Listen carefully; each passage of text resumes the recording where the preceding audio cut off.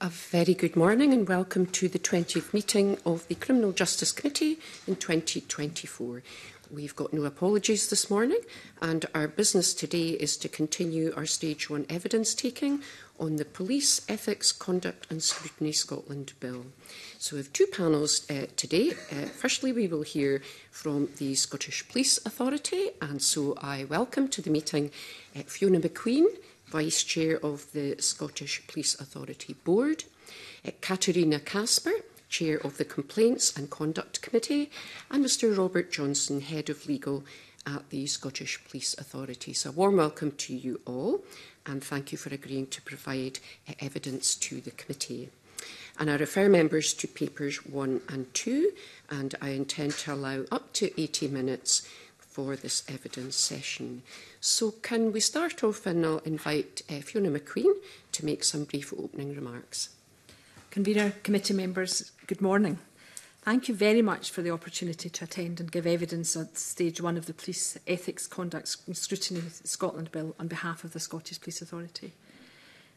In order to improve public confidence and also improve the service that is provided by Police Scotland to their fellow citizens, the complaints and conduct system spanning a range of organisations needs to be simplified, easier to navigate, quicker and more transparent.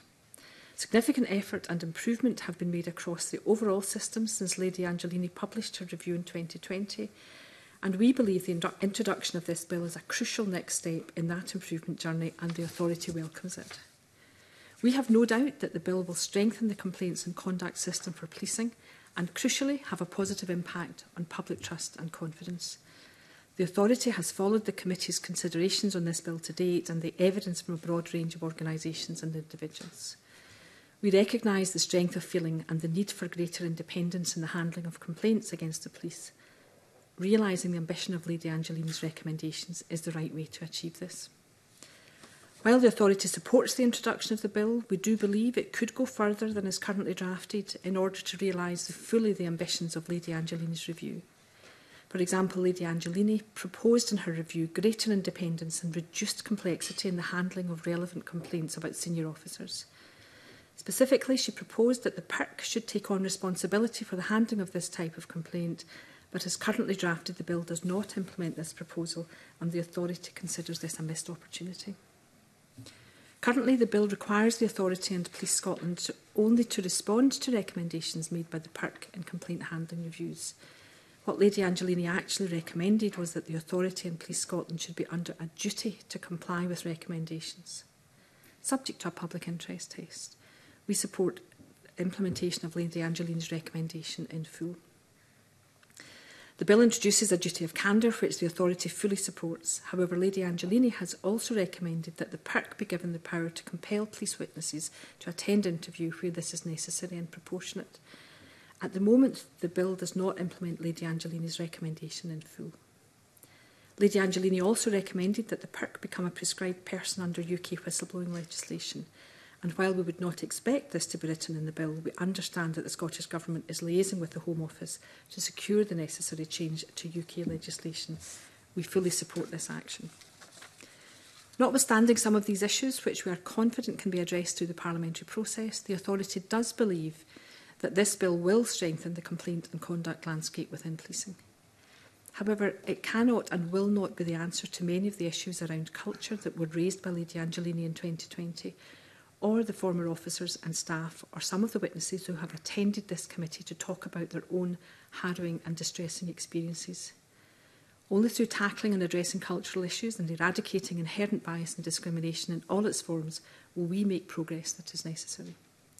Convener, I am joined today by my fellow board member, Katharina Casper, who is Chair of the Scottish Police Authority's Complaints and Conduct Committee. Katharina can answer any questions that members might have about the current complaints and conduct processes and the authority's oversight of Police Scotland's arrangements. I'm also joined by Robin Johnson, who is the authority's head of legal and can answer members' questions about this bill and Lady Angelina's review, and I'll be happy to take any broader questions members may wish to cover. Thank you very much indeed for the opportunity to make an opening statement. Th thanks very much indeed. That's a very comprehensive and helpful uh, opening uh, statement. Um, I wonder if I can start with, with a question, and you spoke about Lady Angelini's, uh, the, the, the work that significant uh, work that she did uh, that underpins where, where we are today. Uh, and uh, we know that a, a lot of the recommendations that were made in her report uh, have already been um, uh, put in place or are uh, underway in terms of being uh, implemented. I, I wonder if I can begin with a question, um, and, and it's, it's about measuring progress, if you like. So, as, as you said in your opening um, comments, um, we've taken evidence um, from uh, individuals uh, in previous sessions and we've heard from both members of the public uh, who described what seemed to be sort of inconsistent and in some cases uh, an unacceptable standard of response when they made a complaint to Police Scotland about the conduct of officers. And in addition, as you referenced, we've heard from or we've heard evidence that where police officers are the subject of a complaint, the way that they're treated seems to fall short. We heard from one officer who shared his distressing story with us. So I'm interested just in get, exploring a little bit more about what work um, does the Scottish Police Authority undertake to sort of look at the views um, of those who have made complaints, um, whether it's from police officers and staff or whether it's from members of the public, to sort of measure um, what their experience is, but in the context of the improvements that we're all trying to make, and in particular the authority is trying to make, in particular in and around um, the way in which complaints are, are dealt with. Okay, thank you, thank you. I'll, I'll Good morning. You on that. Good morning, uh, convener, committee members, um, and thank you for the opportunity to give evidence this morning. This is a, a very pertinent question, uh, a question that as the com committee within the SPA, we very much concern ourselves with. And I think what is important to, to remember is that there is the subjective experience of, of the complainers and of officers, um, and that's incredibly important. Um, and there are a number of mechanisms by which um, we measure this. Um, but I think what's also important to remember is that when we are looking, you know, because you started talking about the improvement in performance, we also need to look at data. So what data is available to us? And that is, again, something that the committee is very much concerned with. So from a subjective experience, for example, Police Scotland undertake um, uh, user satisfaction surveys, and there is data that they receive on a monthly basis. That data is scrutinised, um, and any learning points are identified from that. So that, that is a process that is in place. Um, but as I said, for, for us in the committee, what is also really important is looking at the objective data. So we're looking at timelines within which the complaints are actually managed. We are looking at the levels of complaints that are upheld how many complaints are resolved through, through frontline resolution, for example, versus you know, having to go through a, a full-blown six-stage investigation process. So all of those things are incredibly important. Also important are independent audits of those processes that, that, that are in place.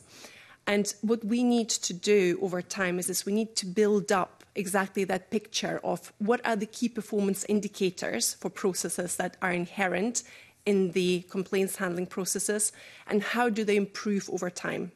Um, you know, I would say that we are, at, uh, so certainly from a committee's perspective, we have seen an improvement. We've had some initial audits that have come through from PERC. It was, there was a joint audit between PERC and the SPA. Um, there is another uh, PERC audit report which is due to come out as well that looks at the six-stage investigation process. So that will be a really important bit of evidence. And another bit of evidence that we have, we have restarted our own internal dip sampling into parts of the complaints handling process that isn't currently subject to PERC audits. So they're all really critical bits of data that, as I say, will over time help us to establish whether or not, for example, the average timelines for complaint handling are coming down, whether we are managing to solve more complaints through frontline resolution, um, and those types of elements. So that is where I see the committee's work really um, going in the future. We, we are at the start, I would say.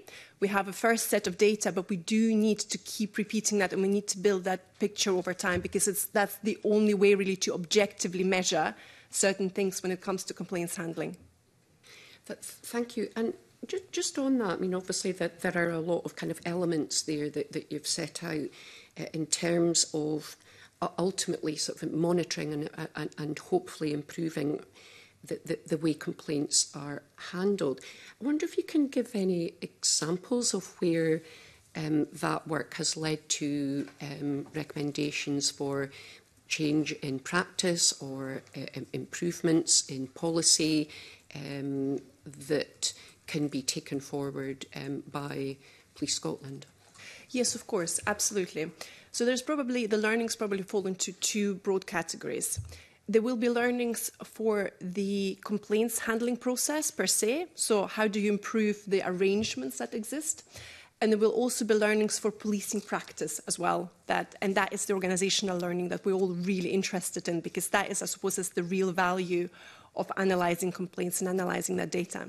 So within the first category, what we have, um, as an example, following the PERC joint audit into the triage of um, complaints and into categorization of complaints, um, there have been some enhancements that have been made to the frontline resolution process. Um, there have been um, our recommendation, for example, was to potentially look at the timeframes within which um, after submitting the complaint, the, the, the, complainer is contacted. So there, were, there, there was a lot of procedural um, uh, in, enhancement activity. There was, for example, opportunities for extra training that were identified and then delivered by PERC to the PSD department and Police Scotland. So that audit has absolutely strengthened the way that Police Scotland deal with complaints. On the other side, which is the policing practice, for example, again, um, we see on a quarterly basis evidence of, for example, changes to some of Police Scotland's standard operating procedures in, you know, as, as part of their service delivery. We also see, for example, again, uh, additional training needs that are identified. So, for example, um, where um, enhanced officer safety training to deal with um, any potential excessive use of force. So we see that all the time. Um, it's something that's reported to the committee on a quarterly basis as part of the PSD's standing report, and there, there's ample examples of that. Some are, you know, broader, some are a bit more narrow, more specific. Um, but for us, the important thing is, is that there is a mechanism, and we're seeing evidence of that. Okay, thank you. My, my, my, final question, just on, on that, is um, just to, to, in terms of the bill how do you feel from, from your perspective in the, in, in the committee? How will the bill, uh, which provisions will help strengthen the, the work that you've outlined? Of course, no, absolutely. Well, um, I think the bill is at a relatively high level, so there may well be some secondary legislation that will provide more direct impact on the work of the committee. But one very clear example that I can see is um, the potential for PERC to call in complaints because for us, that would be another really important data point. Um, so that's obviously a power that they don't have just now. Um, and then, you know, whilst the, the data just now is incredibly helpful, um, they don't look at reinvestigating complaints, as obviously our colleagues um, from PERG in last week explained to this committee, as well as, as they look at um, whether a complaint has been handled to a reasonable standard. They don't necessarily reinvestigate the matter again. But the ability to call in significant complaints, I think, potentially would be very helpful.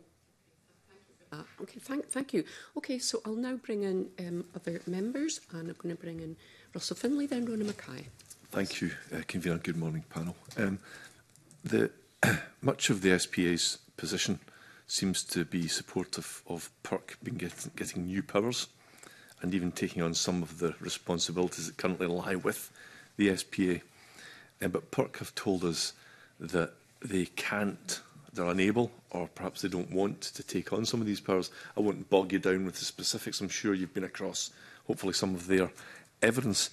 Um, I, I, I mean, I see sections 11, 12 and 13, for example, in, in your evidence. You've, you've suggested PERC should take things on. I just wonder, in, in this rather unusual set of circumstances where you've got two bodies of both apparently trying to give away or not take powers, um, whether you're talking directly with them or whether you're hoping this will be resolved through the legislative process. I'm not aware of um, direct conversations at, at my level from the, the, the legal level, but that that could obviously be fa facilitated. Um, I think the the approach that we've taken um, to Lady Angelini's review is that we have supported her recommendations and proposals from the outset. Uh, and that's partly because of the thoroughness and the care, the care taken over the, the, the review, but also because the review does focus on a public interest perspective rather than the interests of any one particular organisation in, in, in, the, in the area. Um, so, for example, um, Lady Angelini proposed, as, as Ms McQueen pointed out earlier, that the port should take on responsibility for uh, handling complaints about relevant complaints about senior officers. Um, and that's something that, that we think is in the public interest because it enhances independence in the handling of the most the complaints about the most serious police officers in Scotland. Lady Angelini stopped short of um, recommending a wholesale uh, independent regimes such as what exists in, in Northern Ireland and, and more recently in the Republic. But she was very careful to, to, to make clear her, her views on um, the park taking on this additional responsibility. And, you know, from the outset, we've supported that, not because we're trying to rid ourselves of, of particular functions, but because enhanced independence and enhanced simplicity in, in the process is in, is in everyone's interest, particularly the public. Similar is in respect of the proposed police, barred and advisory lists. The bill proposes that these would be managed by the SPA. But the SPA's position is Police Scotland would be better served taking this on. I think Police Scotland have told us the same. Does that not perhaps go the other way and risk giving the public perception that the, the police themselves are controlling these and that's therefore not a good thing, or, or what's your thinking behind why this should be the, the way you're proposing it? The, the, the approach that we've taken, we completely support the, the, bar, the Barden advisory list. Um, um, the, the, the, the point that we've taken in relation to it is that Police Scotland's infrastructure at present, which deals with issues such as vetting, um, lends itself much more clearly to taking on this particular function And in addition to that, um, most, if not all, of the data which is going to be included uh, in these lists will arise from misconduct proceedings that are operated by Police Scotland rather than the SBA.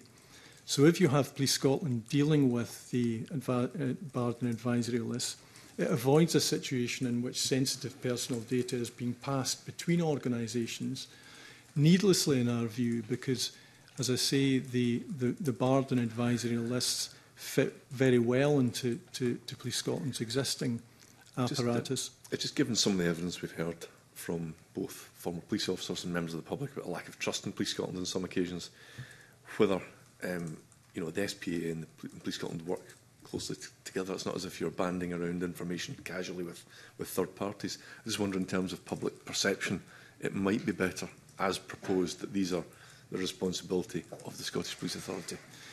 There, there, is, there is that argument, but I think in order for that argument to succeed, um, there really has to be a, a, you know, a reasonable suspicion that for some reason Police Scotland won't be putting um, uh, officers, former officers, on the Barden advisory list, even though they have been dismissed um, as a result of gross misconduct proceedings or where in, in, in the case of former officers, um, a decision has been taken that they would have been dismissed had they remained in service. I, I, I don't think there is a reasonable case for thinking that Police Scotland would not almost automatically include uh, particular officers um, uh, or former officers on these lists and that therefore it, re it requires to be operated um, you know, by a separate body. In England and Wales, um, the College of Policing um, uh, operates the barred and advisory list, but that is because there are 43 police forces in, uh, in England and Wales rather than for any ideological reason, as I understand it. The, the bill also proposes a duty of candour, which the SPA supports. Um, however, it's not clear from the submission whether or not the SPA supports the off-duty duty of candour, which isn't in the bill, it suggests that you might support that. Um, um, yeah. Sorry. No, fire away, if, um, if you can clarify that. Yeah, I mean, the, really, the SPA didn't have a particular stance on whether it should apply to off-duty. The reason why we, we raised that, that issue is because um, the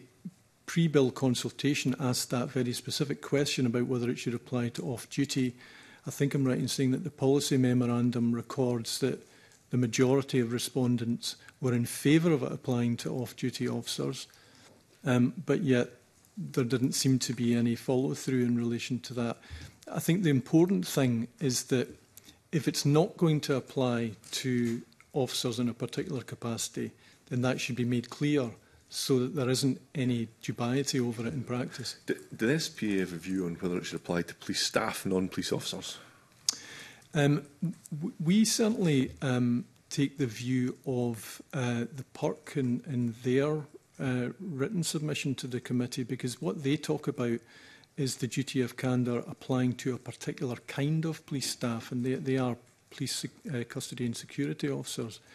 And the reason why th that might make sense is because um, police staff in, in those capacities are much more likely to be witnesses to the kinds of incident that the PERC is investigating, and therefore to, to exclude that particular um, uh, type of, of police staff um, may in, uh, eh, in, impact on the effectiveness of, of PERC uh, investigations in future. Thank you.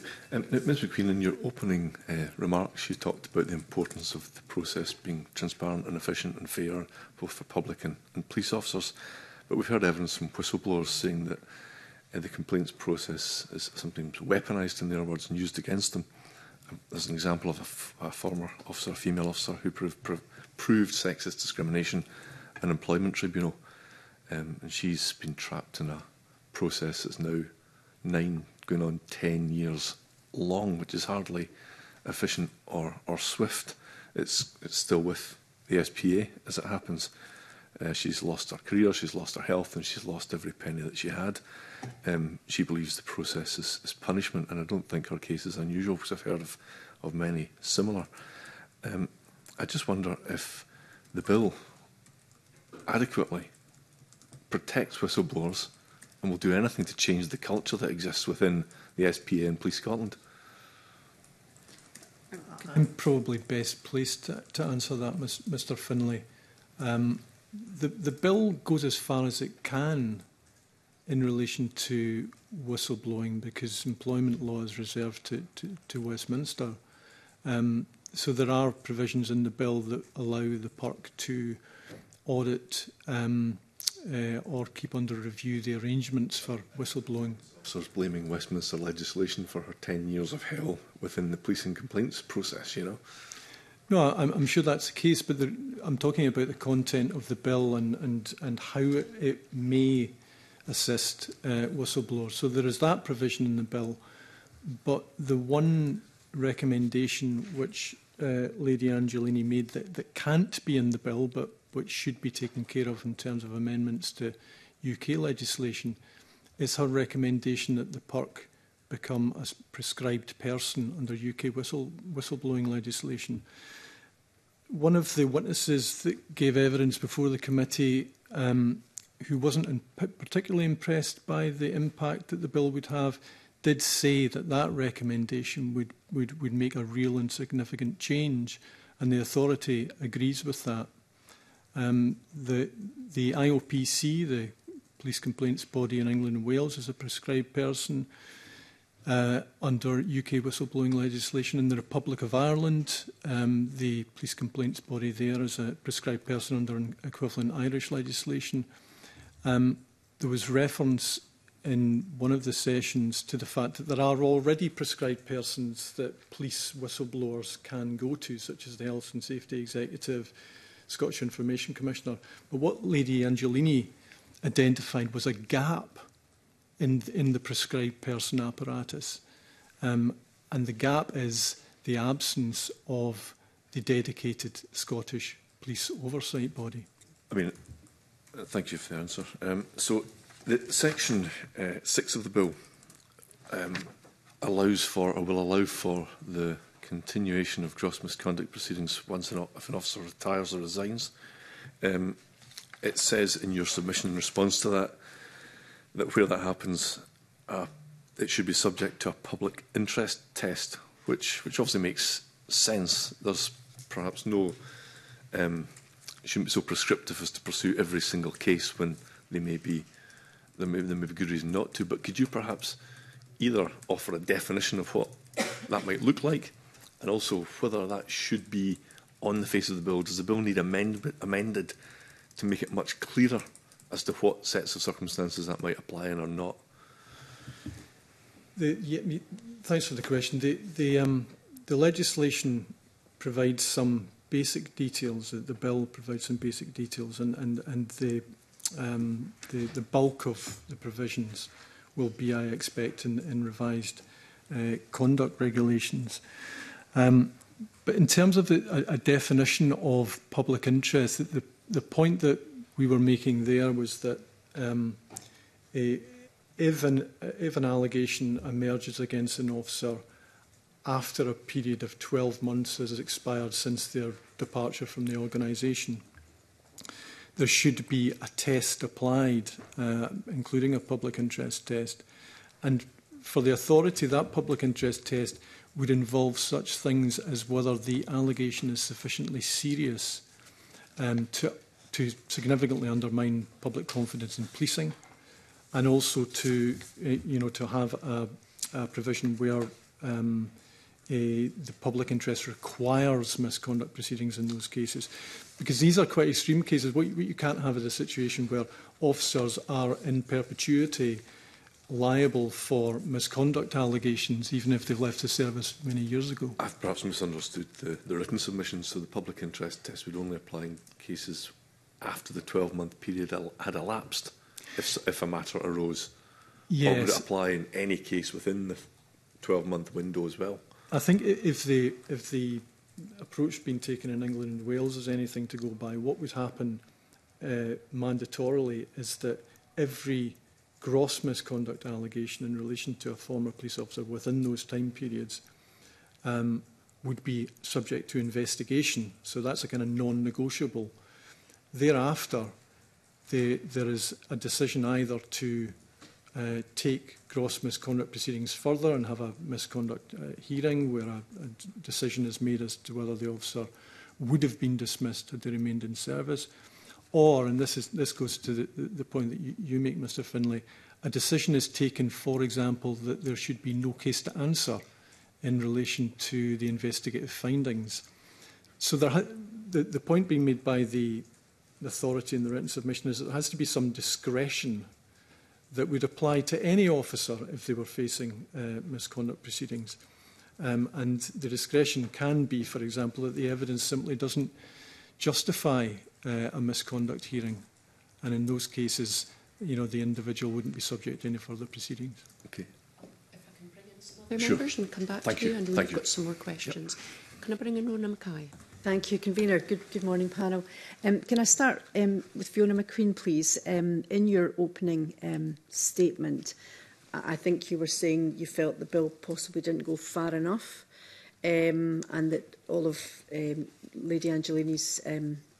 uh, recommendations hadn't, hadn't been met. Um, so, so I've got two, two questions. The first being, do you think that the bill is the process is still overly complicated despite this bill? um, because you know we've got professional standards, yourself, the park, etc. All, all these different layers of, of, of bodies dealing with complaints. Um, so do you think it's overly complicated? And secondly, the previous and current chief constable have made public statements that they felt that the force was um, institutionally racist and discriminatory. So do you think the bill will go any way towards this? And what have steps have the SPA been taking to, to, to try and uh, solve that? So, good morning and, and thank you for that. I'll answer the your second question and then uh, Katharina will answer the, yeah. the first question, if, yeah. if I may. And actually, in terms of, uh, I think, the institutionalised discrimination, if I may also uh, refer to Mr Finlay's question about whistleblowing, uh, to me that's the, the last chance saloon what we expect as an oversight body for Police Scotland is to see that Police Scotland have created an environment for their staff to flourish and where if there are any issues that they're raised and they're dealt with way before you get to, to whistleblowing. So I think the whole culture issue is incredibly important and the bill doesn't take that on, on. But I think that's also been something that the work that both Police Scotland, but certainly as an oversight body in terms of our proportionate um, oversight of Police Scotland in the interest of the public, then we are making sure that we're having evidence of, of change and, and cultural shift. Now, that has started, I think, before uh, Serene talked about institutionalised discrimination, looking at data on whether it's women, uh, the turnover of women officers, whether it's in terms of Your Voice Matters, what people are saying, and similarly the HMICS recent review on culture does recognise that there has been significant progress, but there's much more work to be done. So I, I think in my opening statement when I talked about the bill alone cannot make all the difference. We believe it will strengthen and it will, will eh, be effective, but actually the work and culture has to go alongside that so that there's an openness, there's a willingness to learn. So looking at, Catherine has talked about the number of complaints that are upheld. So I think the challenge within complaints of conduct is, you know, are you listening to the lived experience of whether it's your officers or the members of the public so that you can learn from that and take it forwards? So I don't, I'm not suggesting that culture need to be part of the bill. It's, that's not what it's about. But Lady Angelina did also mention that culture is incredibly important. And what we are expecting to see as an oversight body are these changes. And we ourselves have responded, we have Policing Together, where we, we, we try and pull everything together uh, to, to make sure that we are getting evidence of improved outcomes so that the discrimination is eliminated and we're having wide oversight of, of that. So, so, so you will hold Police Scotland to account um, on, on, on any of those matters. If, if, you, if you hear or see something happening that shouldn't be, you will hold them to Ms. account. Mackay, I think I would absolutely, and we, we don't wait to see or hear. We, uh -huh. we are being proactive in terms of looking at data, looking at evidence, and, and supporting Police Scotland because it's not easy to, to make this cultural shift and cultural change. Supporting them to, to make that change and measuring outcomes so that we have evidence of that improvement. Yes. Mm-hmm. Thank you. Thank you for the question. Just to kind of answer that, I think your question was, is the current system too complex?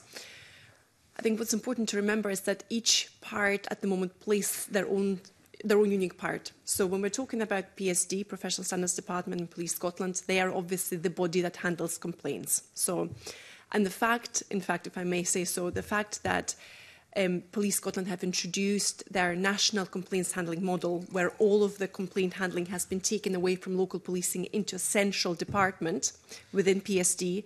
In our view, is a very good thing because obviously it creates that centre of excellence. It creates an extra layer of independence, where, for example, complaints are being made against local policing. It's not local policing who are investigating; it's that central unit, and so, so that that's really good. So they are the ones that, that's the engine room of the complaints handling arrangements. The SPA's role is an oversight body, as, as Fiona mentioned. So we look, but we don't look at individual complaints, we look at the arrangement as a whole. And again, so it's a necessary check and balance. And then PERC are obviously the body where um, where that, that's you know the equivalent of uh, to some degree of the um, SPSO. So that's the appeals body, so to say, for somebody's. So they will be looking at whether or not complaints have been handled to a reasonable standard. So is the system too complex? Um, I was really struck actually by Lady Angelini's evidence to this committee just last week when I think a similar question was asked. And, and I, uh, in fact, I'm kind of, you know, roughly paraphrased, but it's not far off, where she said, I've been really impressed with, with what we have in Scotland. In fact, I think she went as far as to say, this is as good as I have seen it. So, and obviously, you know, considering the level of detail that she went into when she was preparing her report, I think that's some really quite robust evidence there. So is it too complex? um, I can see why the perception may well be it is complex, but I think it's then just up to us, as the, the bodies who are involved, to really set it out very, very clearly for anybody that we all fulfill different functions and are all equally important. And in fact, it is necessary to have different bodies with a different focus because that provides that check and balance that we wouldn't have if everything was lumped together into you know something that's maybe just one single body, looks more coherent on the surface, but actually doesn't give that level of robustness.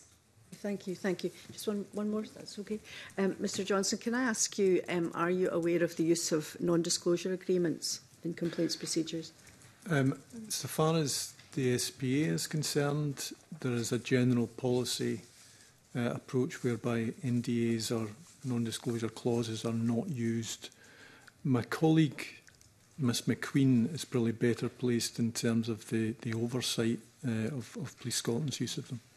So as, as a matter of principle, we, the authority doesn't use them and we would expect Police Scotland only to use them when absolutely necessary. And there has been oversight, so the re reporting mechanism is into our, our, our legal committee, where they did scrutinise the use of NDAs and again, listening to some of the evidence that's been suggested to you that they're routinely used, that was not the evidence that Police Scotland presented to the authority. It, they were used um, by exception, often at request of the individual member of staff, and would be all in accordance with ACAS guidance. So we understand that Police Scotland do use them on occasion, but by far the majority um, of, of settlements are, are not um, bound by, by NDAs. And when they do use them, are you made aware of it? The, there's the, the, the reporting through into the, so again, in terms of that oversight, the reporting into the legal committee would, would provide that comprehensive oversight of when they were used and when they were not used. Okay, thank you. Thank you. I wonder if I can just come in while we're sort of on the, um, I suppose on the, the, the subject of, sort of policy and practice and sort of process um, and, and sticking with, with, with PERC, the, the, the bill would allow PERC to undertake the preliminary assessment of misconduct allegations against senior officers. And in committee, we've received evidence that either the PERC or an independent body should carry out this assessment for complaints against all ranks of officers.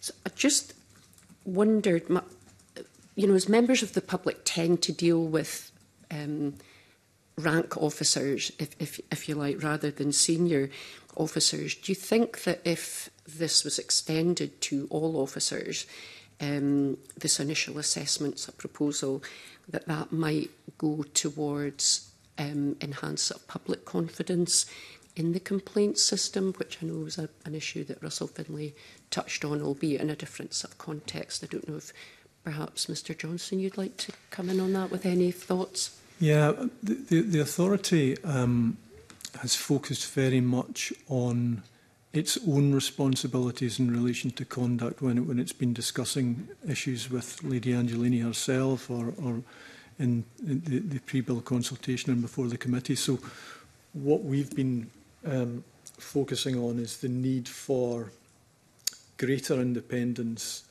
um, in the handling of misconduct allegations in, uh, against senior officers as opposed to uh, other ranks. And um, your question is more about whether a preliminary assessment function should be given to the PERC in respect of all officers.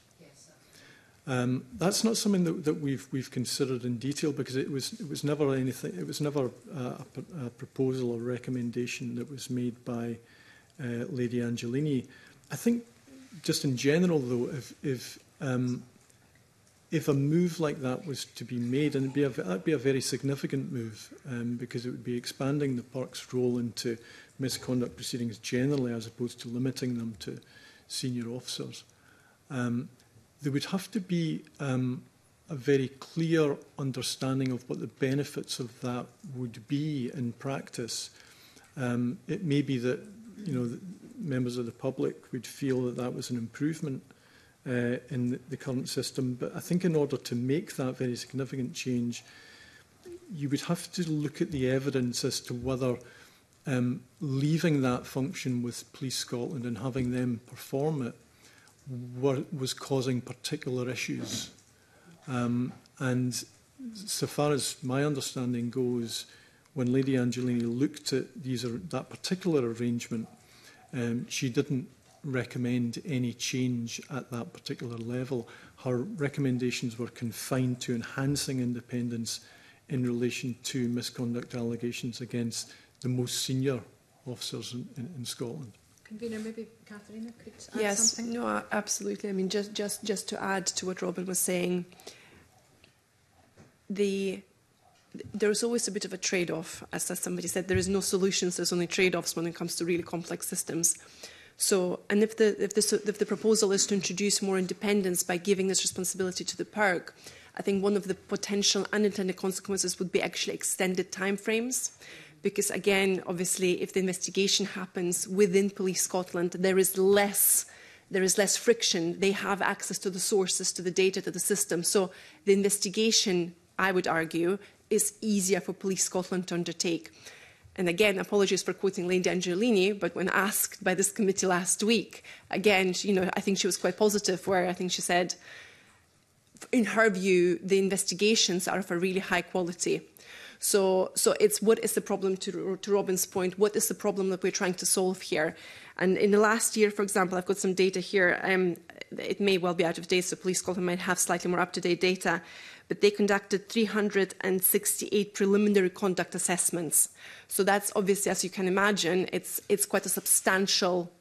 um, increase that would be coming to park if, if all of that was, was handled by park.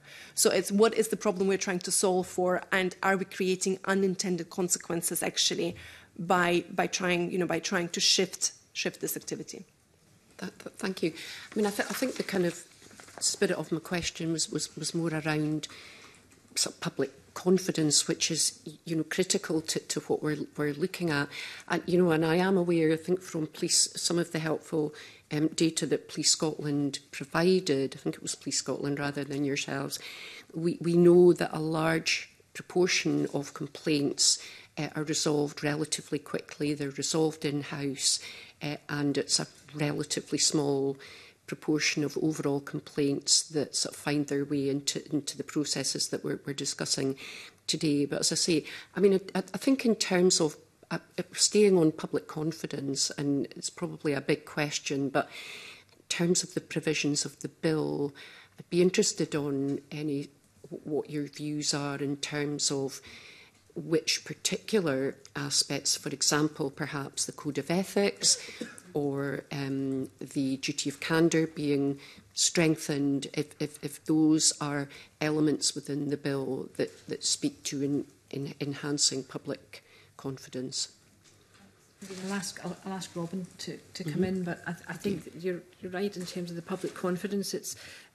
it, it's got to be seen to be done as well as be done and, and although at times things may well be done absolutely appropriately if the public aren't seeing that and don't have the confidence then it is important to take further steps so that we increase public confidence but I'll ask Robin to do that.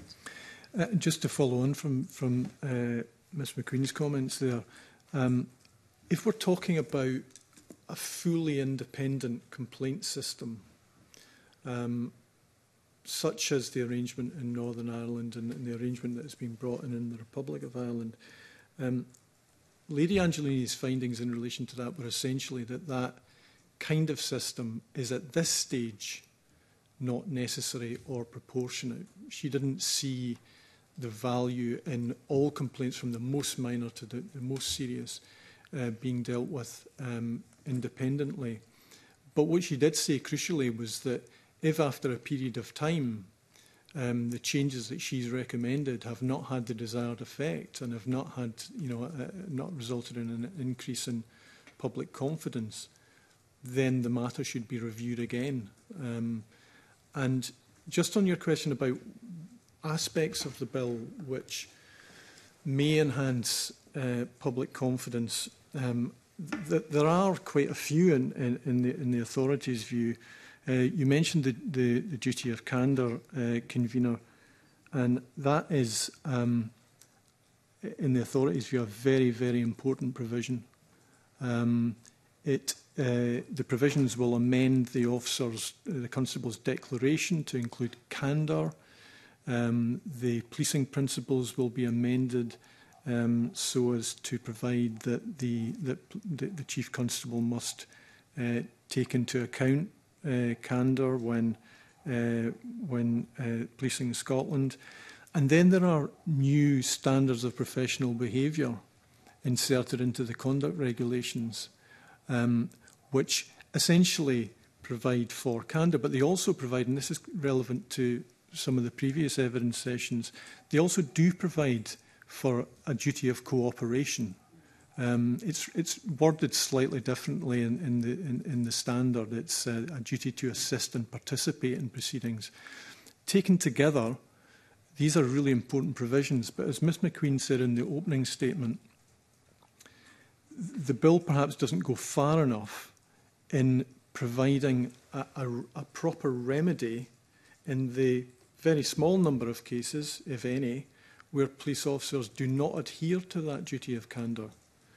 Um, and what Lady Angelini recommended was that the perk be given a corresponding power to compel police officers to attend interview, to provide information.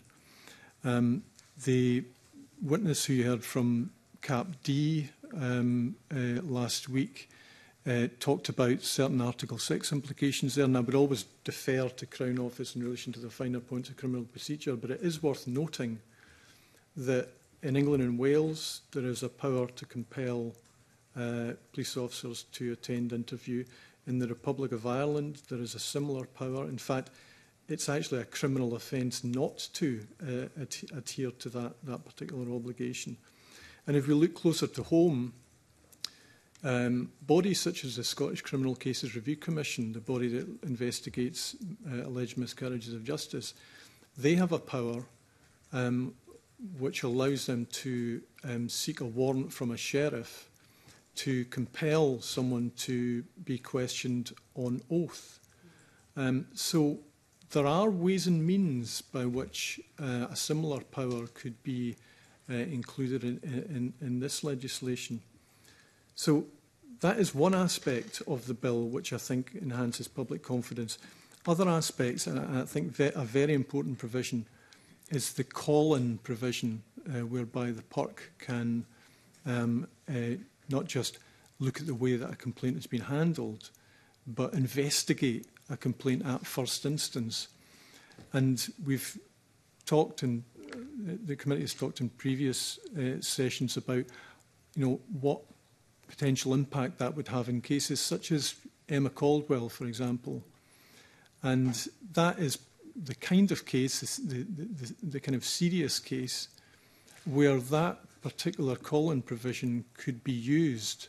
And, you know, so for example, if a member of a, a, a deceased family was complaining about um, a poor quality investigation in, into the death, they could make a complaint, and it's just the kind of complaint I, I, I expect that would be given consideration for, for Colin.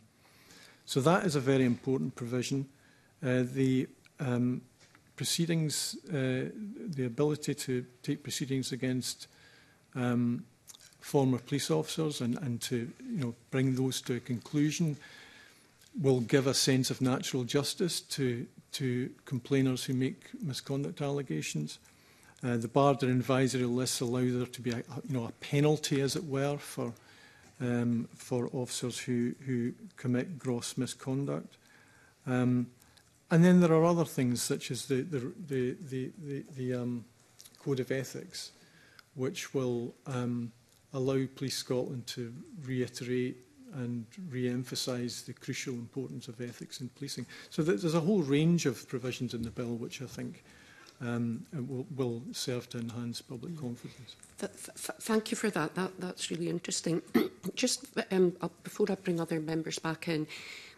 just on the um, code of ethics, the proposal around the statutory code of ethics, some of the witnesses we've heard from have questions of what difference a, a code of ethics will have if there's no sanction for a, a breach of the code of ethics. I'd be very interested in if you've got a view on that, if that's something that should be considered at stage two.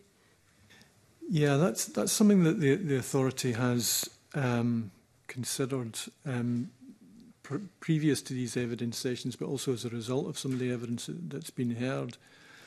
And um, essentially, the, it comes down to whether the code of ethics is a discipline code or whether there is a separate discipline code. And as I understand it, the policy intention here is for two separate sources.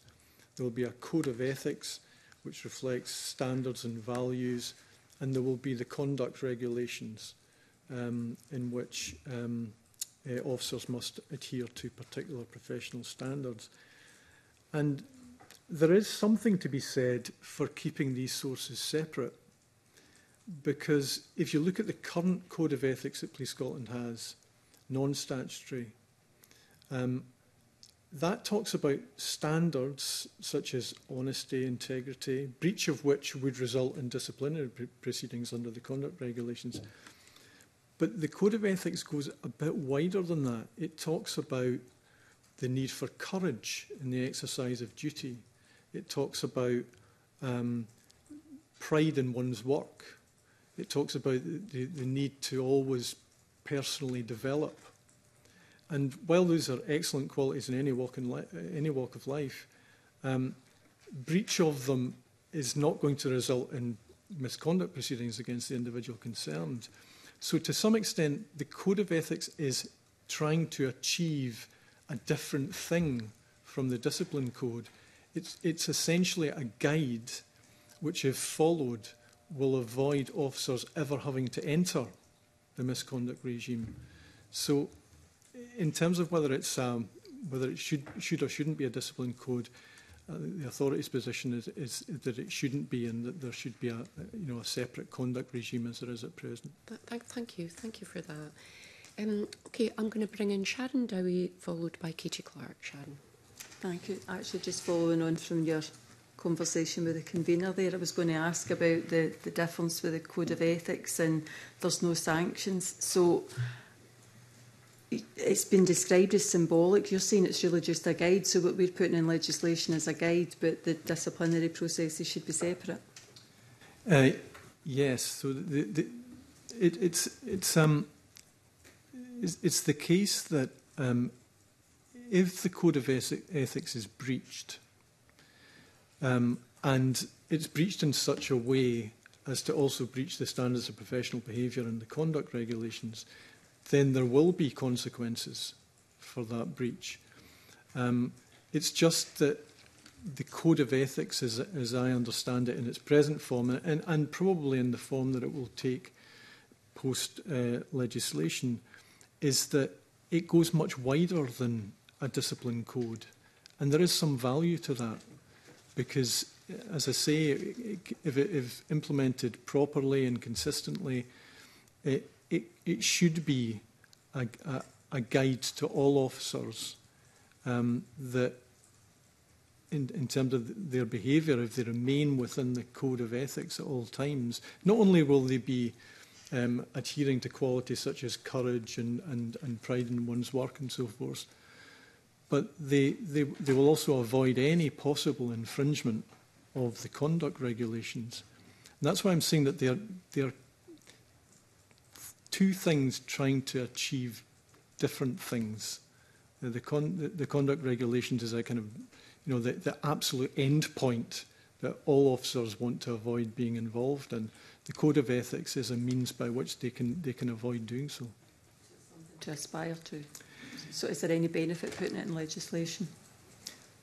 So far as I, understand it, the code itself won't be in legislation. Um, the, the provisions um, a, eh, in the bill uh, determine how it should be produced and, and the level of consultation involved.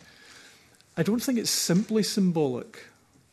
Um, I, I think if you if you take into account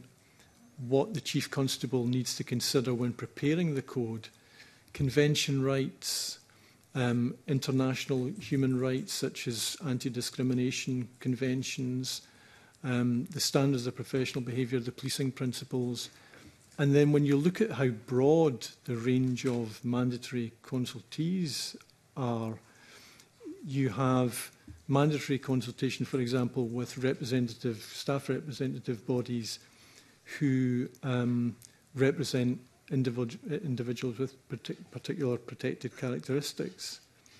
Um, so it's a very, very wide consultation, hopefully a collegiate approach uh, taken to the production of of the code, and if properly implemented, can be used, I think, successfully uh, to avoid anyone ever entering the conduct, uh, the conduct regime. Obviously, there will be occasions when that happens, uh, But the code of ethics is hopefully a way in which that can be uh, minimalised.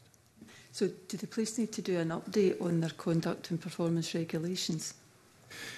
As, as I understand it, the, the conduct regulations will be reviewed once this bill has been passed, and, and um, there is a, a very significant need for that, not just to reflect the changes that the bill uh, is making but also more generally. Uh, Lady Angelini made uh, numerous recommendations and proposals for improving not the, you know, the, the, the primary legislation, but the conduct regulations.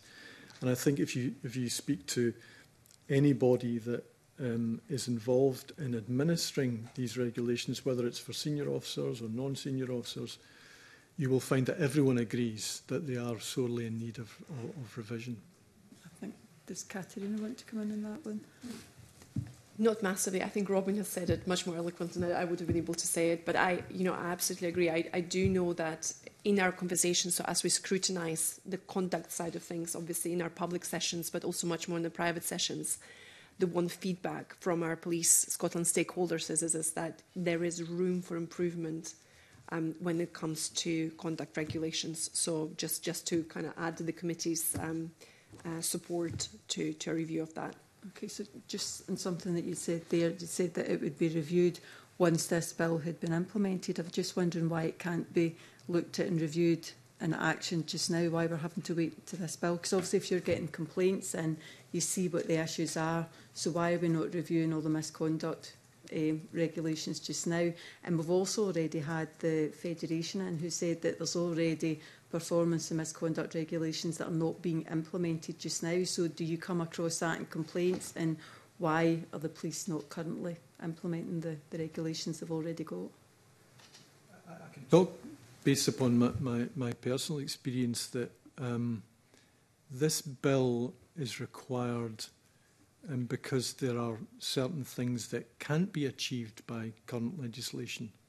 Um, the duty of candour, for example, Um, so it's, it's, not, it's not the case that if conduct regulations were used in a slightly different way or the performance regulations were used more regularly, that we can avoid the need for the primary legislation set out in this bill.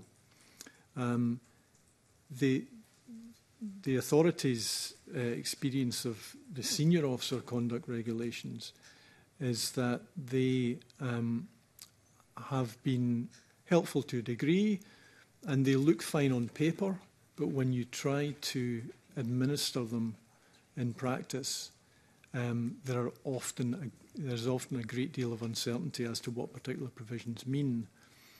So far as your question is uh, concerns why shouldn't these regulations be reviewed now, it's possibly a, a question better answered by Scottish Government But my understanding is that th this primary legislation needs to go through in order to expand the enabling powers that ministers have to make the, the regulations and to amend existing regulations. So it's, it, that's probably why it's been done uh, in this particular way. And I would always expect the bulk of changes to the conduct regime to be in separate conduct regulations. That, that's, that's been the case in Scotland for, for many years and, and the case throughout the UK. That'd something I need to get my head around what actually needs legislation for it and what can just actually be put into your, your handbook, if you like. Okay, thank you. Okay, thank you. Um, Kitty Clark and then Polly McNeill. Yes, I've got a question probably for Robin. Um, in previous sessions of taking evidence, Um, we've heard reference to the right of individual police officers not to incriminate themselves. And I just wonder if you maybe could expand on that and, and explain that and in what circumstances you think it is appropriate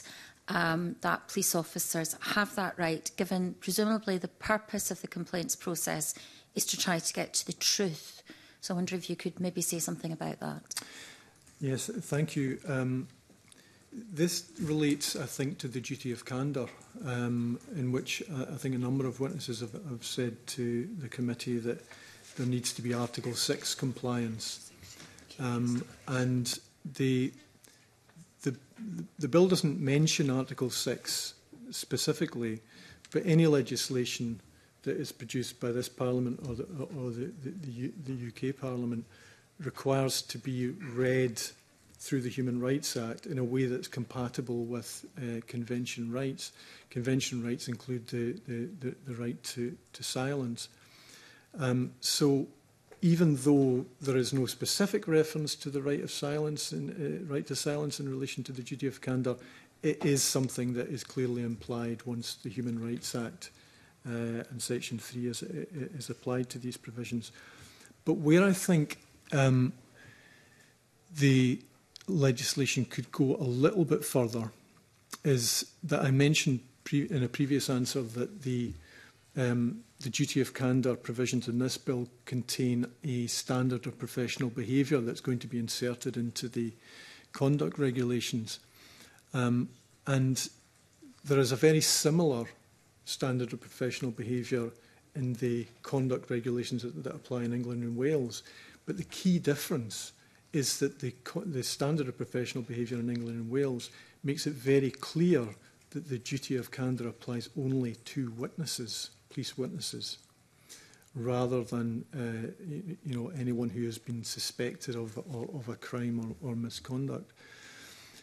On your point about the right to silence on the one hand and the, and the need uh, to establish truth on the other, um, it's a it's a general principle, in, certainly in criminal procedure, that that search for truth cannot put a suspect in a position where they are forced, if you like, to admit guilt. Uh, you know, an accused person is entitled to have the evidence against them tested in court without having to contribute evidence of their own that might be used in order to uh, secure the conviction. That's helpful. And I don't know if it'd be possible just to ask a supplementary question in relation to non-disclosure agreements. So perhaps Fiona um, might be best placed because I know you've, you've already raised that. I mean, it, many organisations use non-disclosure um, organisations as a matter of routine. Um, they, they use them in almost every situation um, where there's any kind of, of payment. Um, and I know your own organisation has decided as a matter of policy not to use them. The Police Federation say that non-disclosure agreements are used in 99% of legal cases that are settled. Now, that may or may not be an accurate statistic, but it gives the impression that they're used quite a lot. So could you perhaps outline, given that you know the Police Scotland obviously are a public body that, that get public money.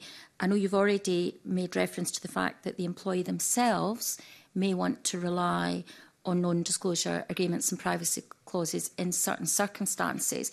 Could you perhaps expand either today or in, maybe even in writing afterwards as to when you think such clauses are appropriate and how we could, if you like, define when they are appropriate um, so that we don't have a situation where they're just used as a matter of routine. really helpful. And convener, if, if we may follow up in, in writing, that, that would be helpful. But I know that the legal committee monitored Police Scotland's use through 2022, and there were 16 NDAs signed. And, and thank you for letting me uh, highlight the fact that whistleblowing um, complaints are, would under no circumstances would that be subject to an NDA? Sexual discrimination under no mm-hmm. circumstances. Mm -hmm. It tends to be more where there's been financial involvement in terms of a settlement that the individual doesn't want other people to know how much that, that they've settled for. But if we may convene our reconsent um, more detailed information mm -hmm. that I would expect would give you reassurance that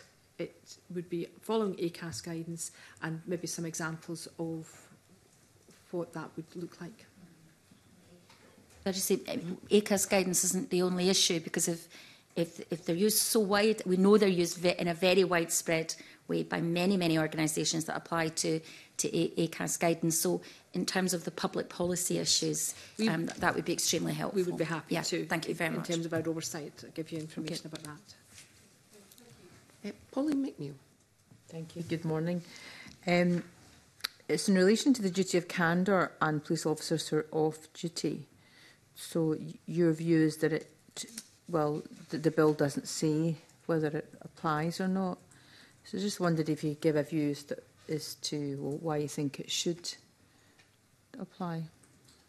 Thanks, for Neil. I can answer that question. Um, the, the reason why that's raised in the written submission to the committee is because if it's not clarified in legislation that the duty applies only to officers who are on duty at the time. Um, it, it may lead to confusion in the future as to the extent to which the, the, the duty applies to, to officers who, who, who are off duty at the time of a particular incident. That's the reason why we raise it. It's not to, to say that we think that it should apply to off duty officers. Um, I can understand why it might be better to apply only to officers who are on duty because it's in those circumstances that an officer is more likely to have witnessed an incident of the kind that the PERC might investigate, for example, a death in custody or a death following police contact. Um, so I can understand why, if it doesn't apply to off-duty officers, the point that we're making is that if it doesn't apply to off-duty officers, it would be a good idea to just make that absolutely clear so there isn't any dubiety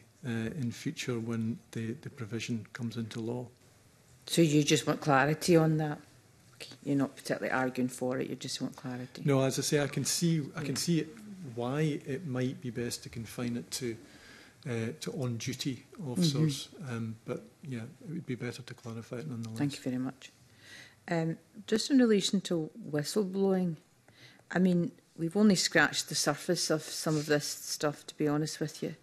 So I, I I'm, haven't had any cases in Police Scotland of whistleblowing, or have had other cases of whistleblowing. Um, do you think there's a need for a definition of what whistleblowing actually is?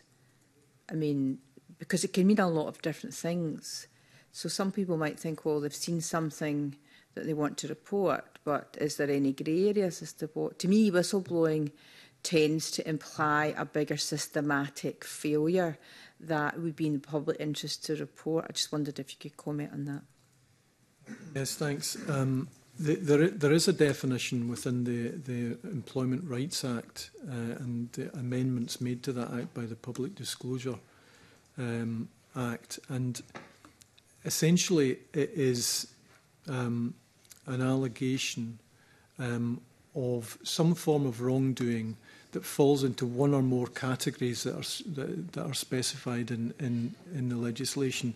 So, for example, an allegation that alleges a risk to health and, health and safety, um, an infringement of a legal obligation, um, a, something which perhaps indicates that a miscarriage of justice may have occurred, These would all be whistleblowing allegations. And I think the, the point that you made earlier there is that these types of allegations are generally about things that matter in the public interest rather than things that concern only the personal interest of the individual who makes the allegation. So a grievance is typically looked upon as not being uh, a whistleblowing allegation if the grievance simply relates to something untoward that's happened to that individual as opposed to an organisational uh, issue. Thank you. Maybe can I just add to that? Um, you know, exactly as Robin just described, so a grievance does not constitute whistleblowing as per, per law per se. However, I think what, what certainly with my committee hat on, what I'm really interested in is this to understand how the different processes work together. So between grievance, between whistleblowing, between complaints, because if there are some things coming through grievance, through our People Committee, for example, the expectation from us as the SPA is very much that there is that read across. So if somebody as part of a grievance actually looks and investigates something that looks potentially more systematic, then we would expect that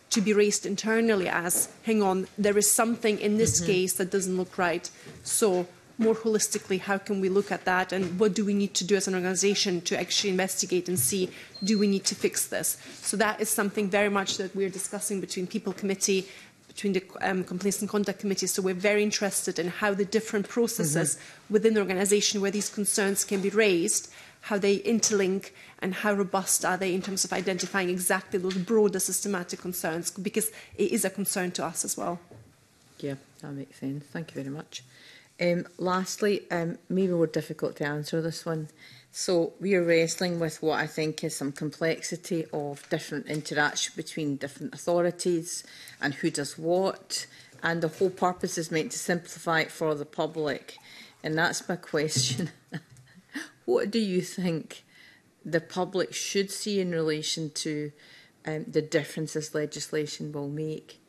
And do you have any comment on whether or not there's some parts of it that are worth highlighting to the public. After all, that's really one of the primary purposes of the legislation. Thanks, Ms McNeill. Um, yeah, the, the authority has considered, you know, the question about, well, what impact does this have for the public? In fact, that's pretty much at the forefront of our minds in relation to any exercise of our, our functions. Um, if we were to call out one particular provision in the legislation that, that may be significant and may make a difference to members of the public who use the complaint system, it is the power that the park will have once this legislation is, is passed to um, call in uh, a complaint and investigate it independently. I gave an example earlier about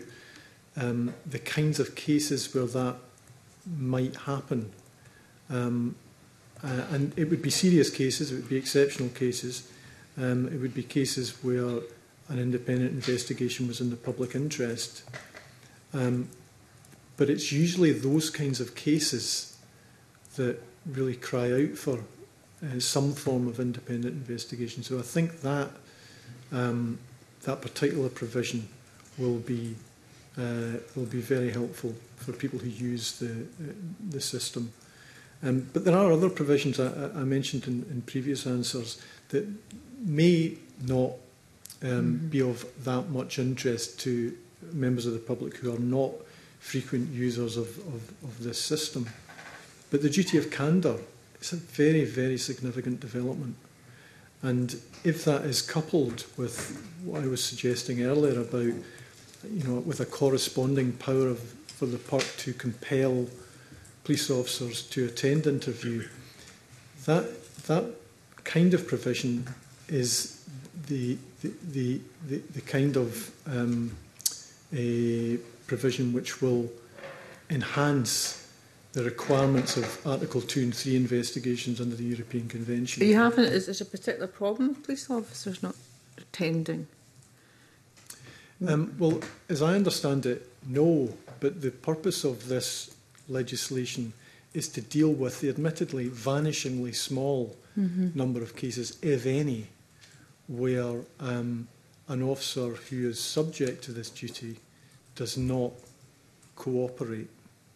Um, and that's why I, I mentioned the, the you know a, a power on the on the part of the part to compel police officers because um, Yes, it, it may never be used, that power, but the fact that it's there will help in any independent uh, investigation because it will make sure that people do cooperate, even if they're thinking that they, they, are not going to. Um, and, as I say, will enhance the quality of investigation, particularly in Article 2 and 3 type cases under the European Convention. Mm -hmm. I think that's interesting that you've chosen that one because from the start of this, I've always seen that as a kind of, well, we should have it, shouldn't we? Because it should be enshrined. I, I presume in, in police training, it's these are things that which police officers have been trained in anyway about their duties and that the recruitment process. Am I unaware of any any particular issues with police officers not investigating. I rather saw it as a well, we should just have it because we should have it in statute. But I think that that's the point. what you're saying implies that you've had some problems with police officers, and I've never heard that. Well, the, the Park and, and their written evidence do refer to a specific case in which which an issue like that has arise, has arisen. But the um, the the point that you're making there about there not being a, a particular problem at the moment does not mean that there won't be a particular problem in, in future, and it's it's about you know, future-proofing legislation, giving organisations the powers that they need. In the rarest of cases, uh, they may mm -hmm. be mm-hmm. exercised, but still um, uh, useful okay. to have uh, as part of the statutory powers. Thank you. Fiona McQueen, do you want to add anything? No, I, I think often there is, and you look at that across other regulated professions, whereby if, if you've got the choice to put something in legislation so that it provides a protection, then on balance it often is helpful because it does give the public confidence. If, even if it's never used, it gives the public the confidence to know that that can be people can be compelled to do that. I don't see it as diminishing of, of, of current officers whether or not they, they do or not. I think it's something about the whole purpose of this is to strengthen what we're doing as we go forwards and to make sure that the public have an absolute confidence that when they complain or they raise concerns that they're dealt with appropriately, timelessly uh, and openly and fairly. Thank you. Katharina Asper, do you want to add anything? I think my colleagues have said it. I'm mindful of time. Okay, thank you. Okay, you know, be happy. so we've got about 10 minutes left, so I'm going to bring in finally Fulton McGregor and then Russell Finlay. Yeah, thanks, Convener. Good morning uh, to the panel. I want to raise broadly the, the case of a constituent that came to me this week. I won't go into any detail, obviously, uh, and, and of course I don't know the whole rights and wrongs, but I'll speak to the process as they experienced it, and it'll bring out some of the questions that you've already answered today and perhaps uh, some other issues. The, uh, the, main, the main broad issues that my constituents said that they experienced when making a, a, a complaint through this process was the length of time that the whole process took there was a feeling that they were intimidated by police, whether this was intended or not, and my constituent accepts that while the process was ongoing. A feeling that my constituent was up against the whole of a local police station. A feeling that the PIC had little teeth in the process. A feeling that concerns or the concerns of the complaint was minimised and not taken as seriously as it merited. And a bit I want to end on to, to ask a bit about was the impact on my constituents' health uh, particularly their emotional health. For example, this complaint was actually some time ago, and my constituent has been triggered by the evidence sessions that this committee has been taking. Um, so I realise this is quite general. We can't comment on the actual facts of the situation or the rights and wrongs, and I think it's important to say that my constituent accepts the matter as now closed and is trying to move on. Um, but what I have said is their feelings and their experiences. Um, and this is something that we've heard from other witnesses that have came in. These are quite sort of general um, concerns that we've heard from other people that have experienced the process. So what I want to ask is, what do you think that this bill uh, will do to, to help uh, people with these experiences, um, in particular around that aspect of the emotional uh, health aspect? Because that, that's probably quite a big thing, particularly if something's taken a long time to, to bring about some sort of resolution. I'm quite happy for him to, to come in. Yeah, yeah, yes, of course. No, thank you, thank you very much for that. Thank you for sharing sharing the story. And if I might just say, um, listening to the testimonies um, was absolutely heartbreaking. So um, you know, I'm I'm not surprised. Unfortunately, that people who have experienced something similar are, are finding hard to listen to to the evidence sessions. Um, so I suppose if I, I know you asked specifically about what the bill will do. I think maybe what I can talk about is what has happened to the whole system over the last few years outside of the bill, and then maybe pass over to Robin specifically for the question around the bill. Um, but you know what you're describing are exactly the things that we, with a you know, with, with an SPA hat on, we don't want to see. You know, absolutely, we we want to have a process where it is easy for people to raise complaints, where they feel supported, where they feel that they're getting um, all the support needed at the start and throughout, um, where the matter is resolved quickly, um, where it's resolved to the satisfaction. And that, that is where we're aiming towards. Now, since the Lady Angelini report obviously was, was issued, there has been quite a big program of work that has happened across the sector, across different partners, um, around the non statutory recommendations. And most of them have been closed off. Some of them are still open. Two of them are with my committee, which we will not close until I'm satisfied that we have the data and we have, you know, we've made the right progress. So Um, and some of the some of the notable things, for example, that have happened probably since your constituent unfortunately started this. For example, as I already mentioned, the complaints handling has been taken out from the local policing divisions into a central function. So whatever is now raised with the police station should automatically be going to PSD. And there, um, there is a robust process now in place. Um, you know, and I say robust as an auditor, I should never be saying robust without, you know, data and evidence, but, but I have certainly seen enough from a design adequacy of that process that to me suggests that if followed, this should lead to a much better experience for somebody who is complaining. For example, one of the key things which has been strengthened is the frontline resolution process, because I think Lady Angelina again was very much in favour of that. And everybody who complains, quite often what they want is, is they want an apology, an, ex- an, an explanation. Um, or uh, some sort of assurance that it will not happen again. You know, sometimes sometimes it needs to go into investigation when it's more serious complaints naturally, and that needs to be done properly. But actually, for a lot of members of the public, that's what they want. And in fact, that um, up to 50%, I think it's about 49% just now, uh, of complaints are resolved through frontline resolution. To me, is actually a success because there's checks and balances, so nothing will be closed off through frontline resolution without the complainers' um, agreement to do so. So um, as I say, over time, I'm seeing that the system overall is moving in the right direction in terms of making it easier for people to complain. Um, I know that a lot of training has been provided by PERC to PSD and also internally within PSD, there's been training around how to deal with complainants who might be vulnerable, who might have mental health um, concerns. So there is work happening, so to say, behind the scenes outside of this bill that gives me more confidence in the system now than it would have been, unfortunately, even a few years ago. As I said at the start uh, of the session, we're looking at for data that it is absolutely moving and moving at pace in the right direction. Until we have that data, we will not be you know, giving the system a clean bill of health.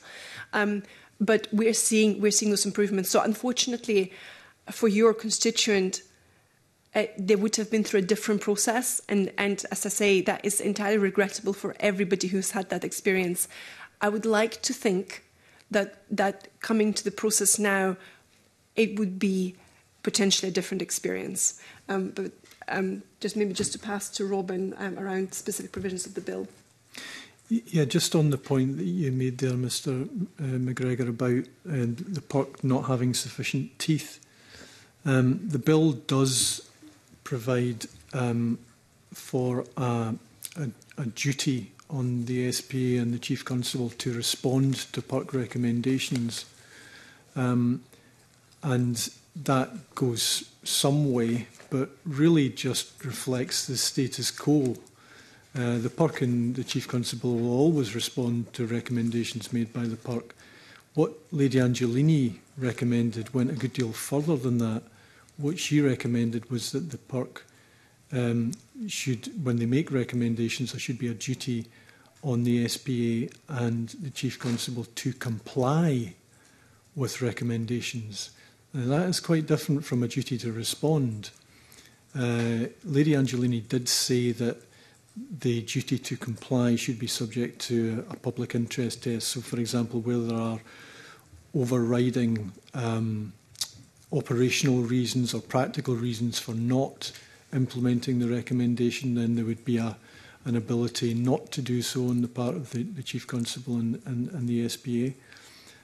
But in terms of your point about the, the perk lacking teeth, um, that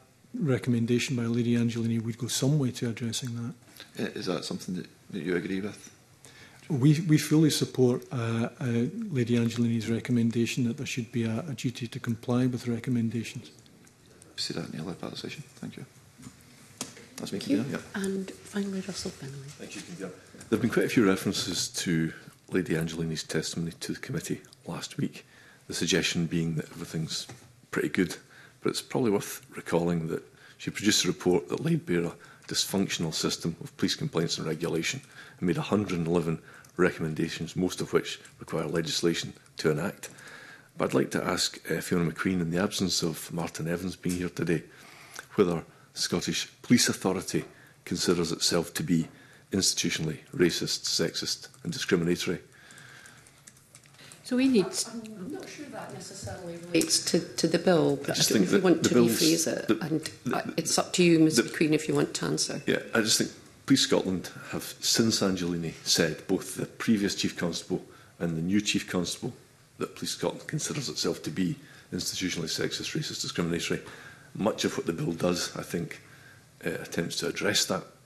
And I just wonder whether the SPA see themselves in the same way, would categorise themselves in the same way So we've not categorised ourselves in the, in the same way, Mr Finlay. However, it's something that I will take back to the chair to, to have that dialogue. We, we have constantly been, since I've been a member for the past three years, looking at ways to ensure equality and diversity and to make sure that, that there is no discrimination and therefore holding the mirror up to our organisation when we are scrutinising another organisation that has talked about institutionalised discrimination then we too need to reflect and consider uh, across the functions of the authority, you know, whether or not that we, we have that institutionalized nature of discrimination. We haven't considered ourselves to be so,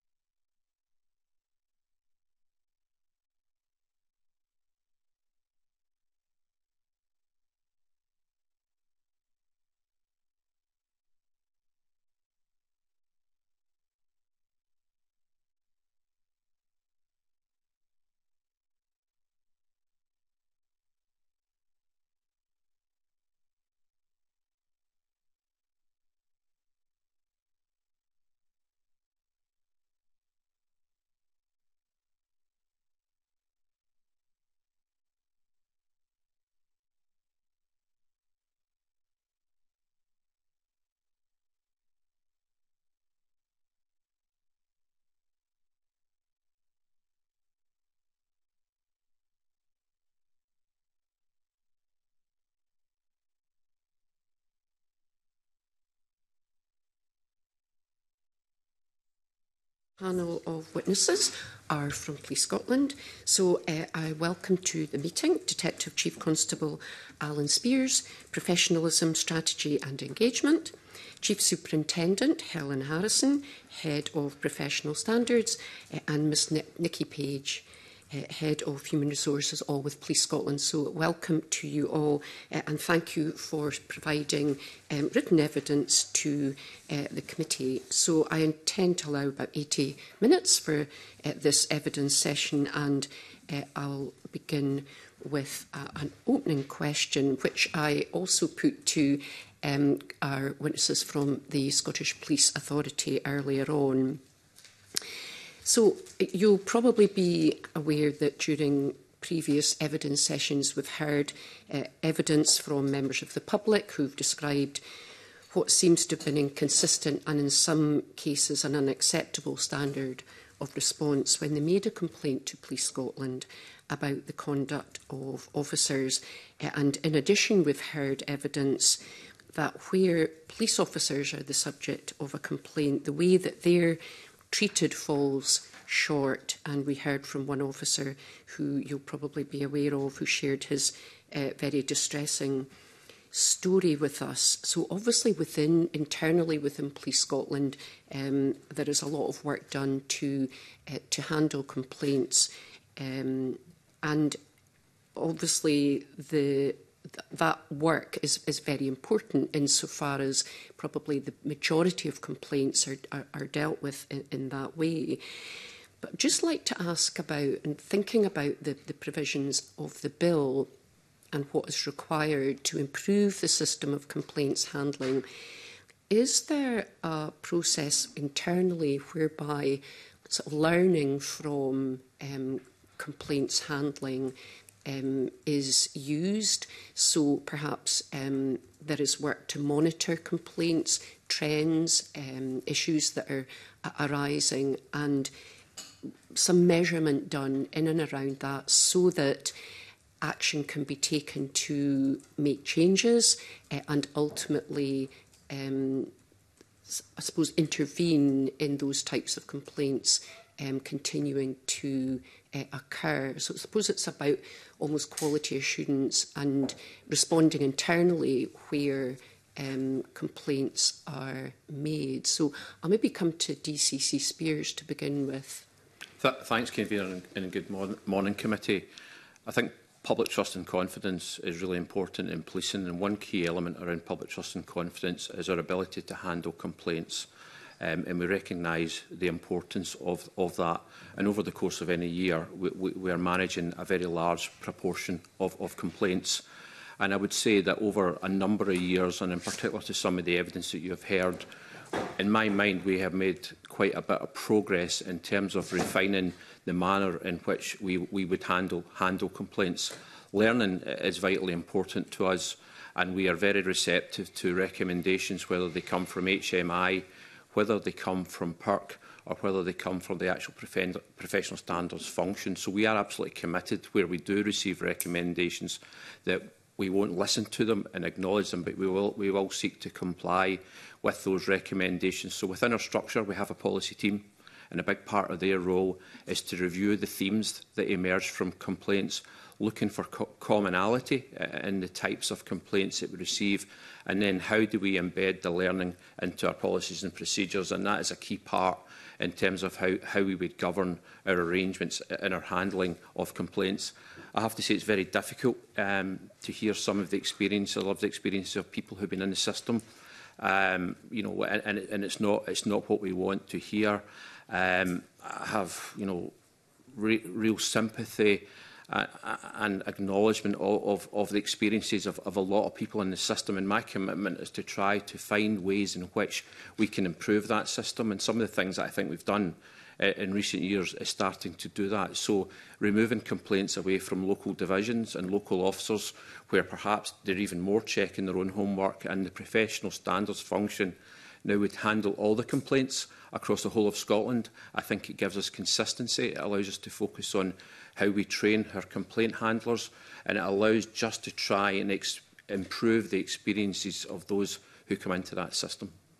So, thank you. Um, I mean, I, I, and again, this was something that we we raised with the with the SP was around sort of public trust and confidence, which which you um, articulated um, at the beginning of, of, of your answer. And in terms of the bill, then looking at the provisions in the bill, I'm just interested in your views in and around are there particular aspects or provisions in the bill that um, work would work towards enhancing public trust and confidence. So I think one of the points that um, one of the witnesses in the previous session um, spoke about was the call-in provision uh, and um, the I think it was the code of ethics which he felt was a was a particular value. So I'd be interested in, in, in from your perspective if there are particular parts of the bill that um, are really important in terms of public trust and confidence. Yes, yeah, so, th so thank you. I, and I can remember meeting personally Lady Ailish when she commenced her review work, throughout the period that she carried out that work, we have always said within Police Scotland that we're really committed to supporting the review committed to delivering on, on her recommendations. So we do, we do welcome the bill within Police Scotland and there's a range of provisions that I think enhance our ability um, to handle complaints. You've, you've touched on code of ethics. I think that's really important. It puts some further obligation on our chief constable. It allows us to ensure that training uh, around code of ethics is embedded um, when people come into the organisation. I, I do welcome the, the ability for PERC to, to scrutinise our complaint handling and in particular calling complaints. I think transparency is a big part of, of trust and confidence. So I think the matters that are outlined within the bill, large, largely Police Scotland, are, are fully supportive of, of, of the variety of, of elements.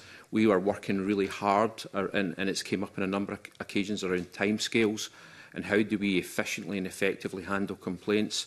The introduction of, you know, our ability to first-line resolve complaints, I think is really important. What I would say is they're relatively low-level complaints from, from, from our perspective, albeit they have an impact on, on the public. Our, our aim, though, is to resolve that with the collaboration of the complainer as quickly as we possibly can. So we are looking at ways in, in, which, in which we could try and enhance that.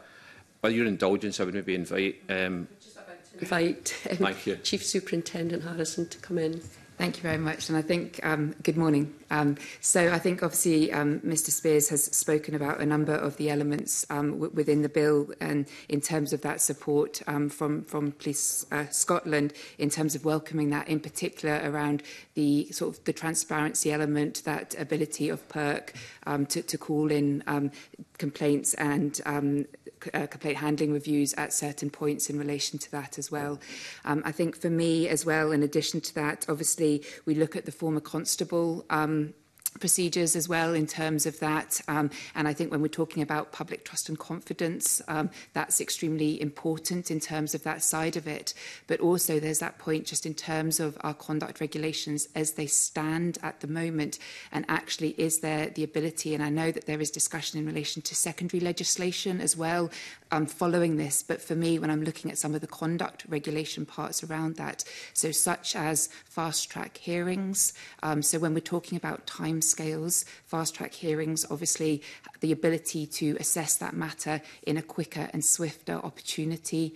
Um, so opportunities that will then follow um, in terms of this and that for me potentially that link to former officer um, provisions there is an opportunity there that we would hope we can have further dialogue to explore through the secondary leg legislation. So I think that's one of my sort of key points overall in terms of the points within the bill. Um, as we say, we, we very much welcome that in terms of the ability, the, the, the transparency around that as well. Um, but actually, when we look at our conduct regulations as they stand at the moment, then the following sort of um, secondary legislation that will come. Mm -hmm. Thanks. I mean, my, my, I suppose my final um, question, and then I'll, I'll bring in other members, is obviously this this is um, this bill is being scrutinised, uh, I suppose, following uh, and uh, with a backdrop whereby um, the previous chief constable um, stated that Police Scotland was institutionally racist. And so my question is if you feel that the bill goes far enough to address um, some of the, the, the, the that allegation. Obviously, it's, it's, it's not the single resolution. There's a lot of other um, action that is required in and around that. But in context of the bill, uh, do you think that that will um, make a positive contribution um, given the comments of the previous Chief Constable? I think the bill will most definitely make some progress towards that. But in reality, the challenge that we would face is about trying to change a culture with, within Police Scotland. And, and I, I don't think some of that culture um, will change as a consequence of a lot of the elements contained within the bill. I think uh, the more transparent that we can be as an organisation, whether we're talking about complaints, conduct, or, or matters like that is vitally important. And, uh, you know, that's why we're publishing conduct outcomes just now, because we want to be as open and transparent in the circumstances we possibly can be. But in response to our previous Chief Constable statement, that's where the focus has went into the, the Policing Together programme, looking at leadership, looking at training, looking at the element of, of professional standards and looking at how we communicate across the force. So we recognise we have a lot of work to do and I think some of the lived experiences that you have probably heard will have, will have reflected that. So I, I think there are elements of the bill will enhance the, the, a whole range of activity and programmes of work that we have ongoing just now at this time, but in isolation it, it probably wouldn't be sufficient. Okay, thank you. I don't know if you want to come back in at all, Chief Superintendent. Um, I would think I would just um, kind of emphasise just in terms of the Policing Together programme that obviously DCC's um, Spears has touched on, and then the role in which the professional standards and the work that we do play in contributing in terms of culture, the development of behaviour, um, and, around the sort of code of ethics in particular in relation to, to that. And we have over the last um, year and a half really um, pushed forward a programme of preventions um, and professionalism around enhancing the awareness of the standards of professional behaviour Uh, um, and also the code of conduct for police staff because it's really important that officers have that full awareness and staff, sorry, have that full awareness and understanding of the expectations in terms of their behaviour. So for me, the code of ethics, you know, helps to pull further elements of that within in terms of that statutory duty with that and in addition to that the um the work that we've been doing around the standard which is where we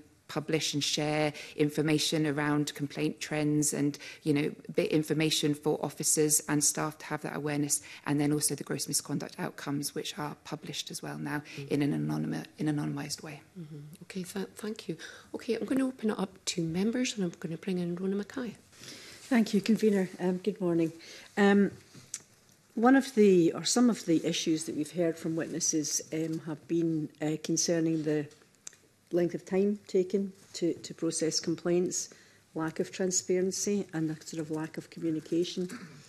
So I, I would like to ask you whether you think this bill will address any of that. And, and, and also the, the Scottish Police Federation told us that accelerated hearings within 35 days are already possible under current uh, misconduct regulations but, but don't happen. I wonder if you could shed some light on why that's not happening already. Okay, thank you. Maybe starting with, with, your, with your last part yeah, of the, sure. the question, and I did hear about that that evidence, and to be absolutely clear, that is not the conduct regulations. We, we, we would find within the conduct regulations, there's three phases within those regulations where we have to give an officer time to respond, and, and that account equates to 60 working days. So the 35 days that was referenced previously relates to the period of notification that we have to give a subject officer before they contend I can attend a gross misconduct a gross misconduct hearing. So there's 60 days that are built in into the con conduct regulations. And I probably will say a couple of times this morning that those regulations brought in in 2014, I would suggest now are not fit for, fit for purpose. So from the point of us progressing an investigation, we have to, no matter the journey we're on, we have to build in we have to build in those 60 regulated days and at times on the part of the officer whether it's through their federated representative or through their legal team, that period can, can be extended. Timescales is something we're acutely aware uh, and, and at times enormously frustrated with.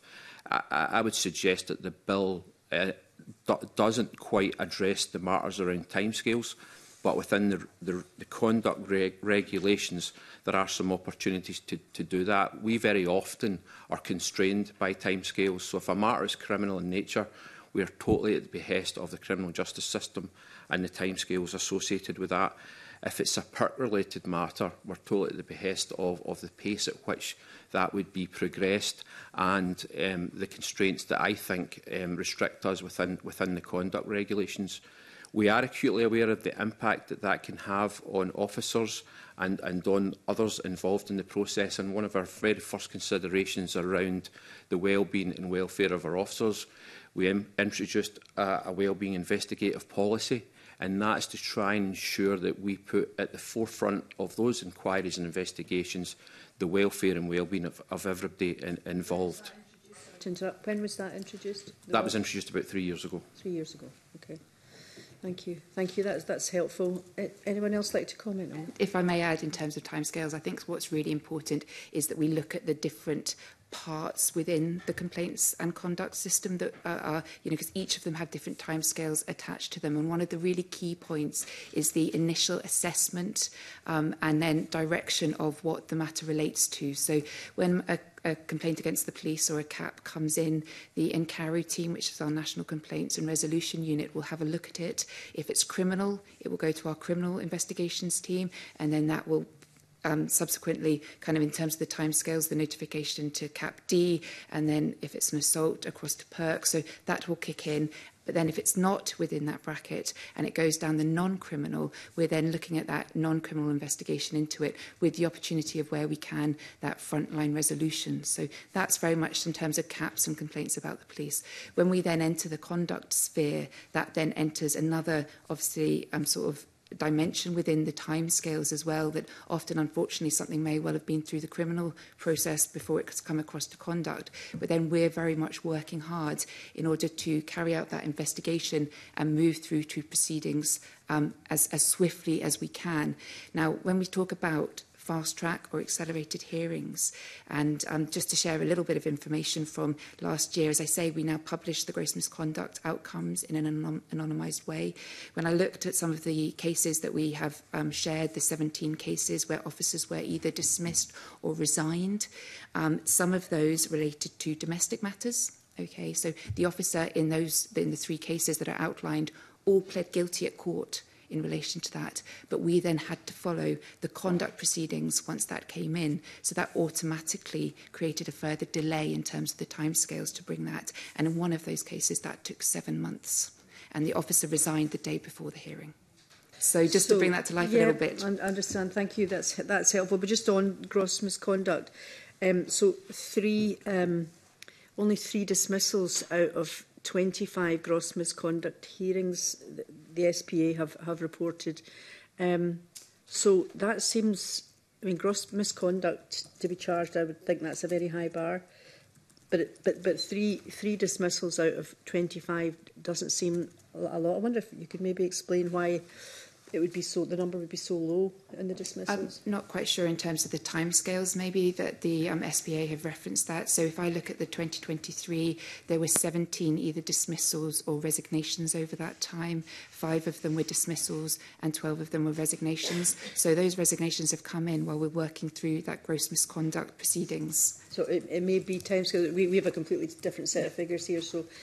it may yeah. be have to do with uh, time time scales. Thank you, convener.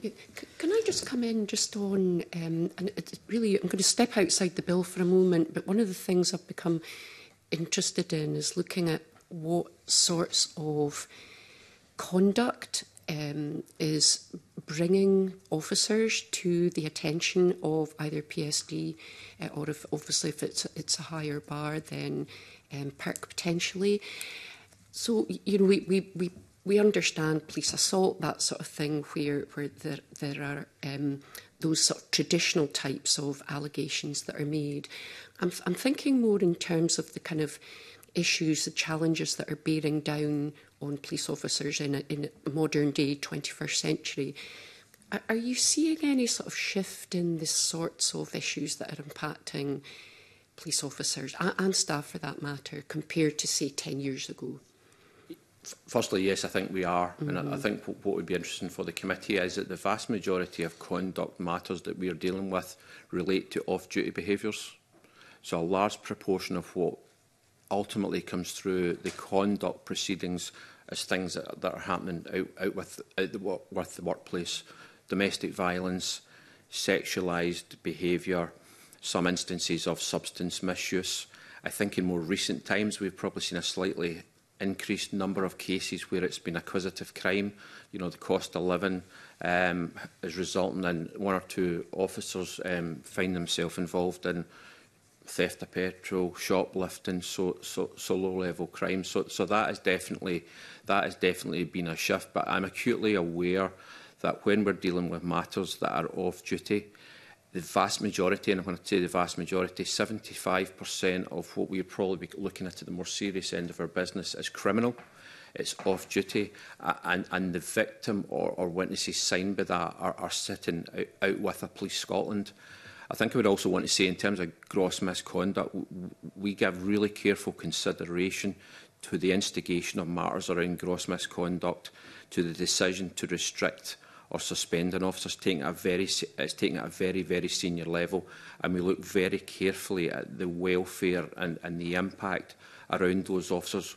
Only about 12% of all the conduct matters that we consider we'd consider to be gross misconduct. And I know that you've heard evidence about how we would use use, use the conduct regulations, but a large proportion of what we do is about learning for officers uh, and the number of officers who find themselves facing more significant um, conduct charges are, are very small. Thank, that, thank you, that's really fascinating. I suppose just in a follow-up to that, um, very interesting some of the sort of types of behaviours that are coming to, to your attention more than previously. Is there anything you can maybe also say around that in terms of the demographics? So is it younger officers, older officers? I, I kind of smile because it's something we look at we look at continually, mm -hmm. uh, and the, the short the short answer the short answer is no. no. Mm, okay. Obviously, with new recruits coming into the organisation in the first couple of years, we can all, also consider their probationary period. We have regulations aligned to being a probationer, but actually, you know, the behaviours are Scotland-wide at times and, and really no, no, no significant pattern that, that would cause an alarm bell for us. But it is something that the, we, we would continually review and, and consider. Okay, th thanks very much. I don't know if you want to come back in before I open things up. I, I wouldn't mind, Kavina, if I could just add to um, DCC Spears' um, comments in terms of just the importance of, obviously the conduct regulations are underpinned by learning um, in terms of actually, you know, is there opportunity for that intervention, that learning, that reflection? Now, clearly when we start talking about gross misconduct matters, they are conduct which basically, you know, could result in dismissal or demotion. So they are the far more serious in terms of that allegation and that standard. But we then also look at gross misconduct and a large proportion of the gross misconduct, sorry, misconduct, sorry, the large proportion of the misconduct are then dealt with by improvement action where officers can then reflect on their behaviour and their standards and obviously seek to improve and develop their behaviour within that. And last year, when we carried out 471 preliminary assessments within the conduct, in fact, there was 163 of them where it was misconduct was found found, but improvement action was given. So that's then that opportunity for that officer to reflect and improve in terms of those behaviours. Th th thanks for that additional information. Thank you. Okay, I'm going to bring in Russell Finlay and then Sharon Dowie. Thank you, Convener. Um, good morning still, panel. Four minutes to go. Um, now, the bill comes with uh, an attached financial memorandum, which initially was £1.4 million pounds is now in the region of £5.8 million, I think, with updated figures from Police Scotland. Now, the Scottish Police Federation have said, in their view, that it will be many multiples of even that later figure. I just wondered whether A, you agreed with them on that assessment, and B, whether you have a, eh, either more up-to-date figures or whether it's a constantly evolving thing as the bill progresses. So I, think firstly we've looked at the immediate implications of the of the bill. So I probably would have a slightly different view from what was expressed by the staff associations in so much as we already have significant costs associated with handling complaints and, man and managing conduct. I, I perceived some of, some of their comments are, around the cost to be the entirety. We've looked very closely at the additional costs on Police Scotland and that's how Mr Finlay we've arrived at probably 5.8 million. Those costs are around training, they're around um, legal and proceedings costs, and they're associated with actually the requirement to probably uplift the teams that we have. Now, that would largely be dependent on what final elements are, are contained within the bill. So the team have worked really hard to try and be as precise and accurate with, with the information that we've got. So as, as it currently stands, we would see the £5.8 million pounds being additional costs over and above the costs we bear as a consequence just now of, of those processes. Okay. Now, the PERC uh, previously has raised with the committee a particular shocking case in which an individual was uh, wrongly arrested, wrongly locked up for a number of days, subsequently apologised to and compensated. Um, and I just wonder whether, this was a number of years ago, you're now confident post Angelini whether this type of uh, incident is not likely to reoccur and whether uh, it requires the legislation to prevent such matters reoccurring or whether the non-legislative parts of what Angelini recommended and which are mostly implemented would prevent something like this happening again. So I know I know the circumstances are, around around the case that you refer, and one of the reasons for trying to draw our ability to handle complaints and centralise it was predicated on, on, on cases like that. I think in my experience of, of previously be, being in Helen's job, it's really difficult to get right across Scotland consistency in how we, we would handle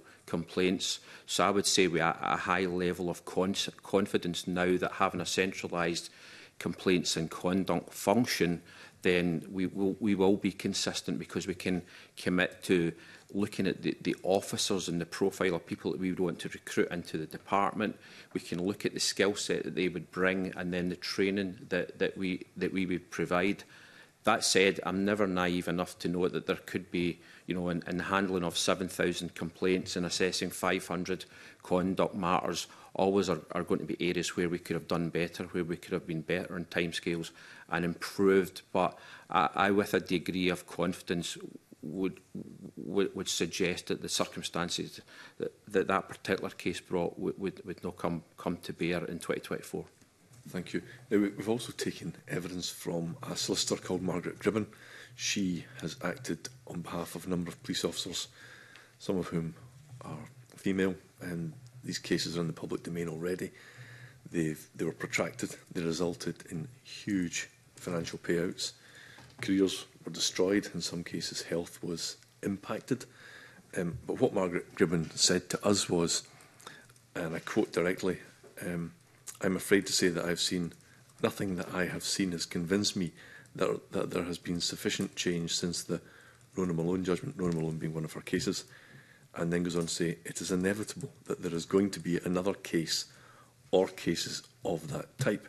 So people who are absolutely involved and have been involved for many years in seeing the worst excesses of, of this system aren't confident in what's gone before. D can you reassure them or will the, or what in the bill specifically is going to persuade people that this is going to be fixed?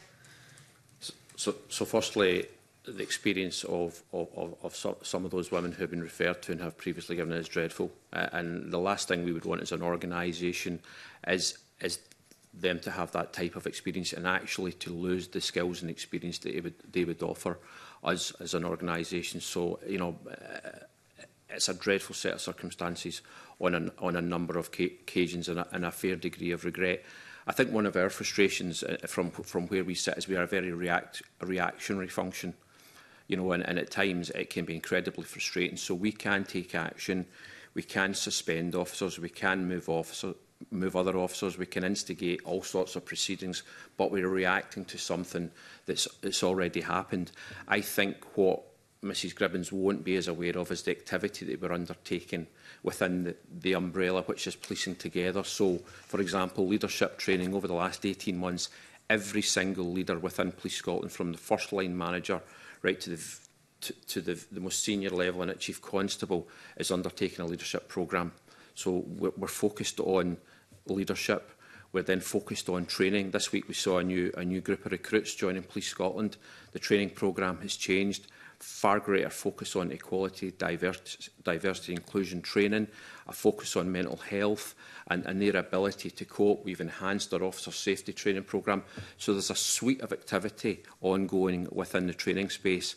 And then and Helen has already touched on some of the activity that we're undertaking more from a professionalism and preventions perspective. All of that's designed to do is to try and, and work towards shifting the culture with, within an organisation and through the, the, the committees at the SPA, we, we'll clearly be held to account there, and we have a, a range of performance measures that we will try and assess if, if we're if we're making if we're making progress in, in that direction. I don't know if Helen would just, if it's okay to just ask her to add. If I may, I would just bring something else out from the bill, which obviously links to the Section 13 um, in terms of the investigation of, of whistleblowing in relation to the perks function in terms of auditing that.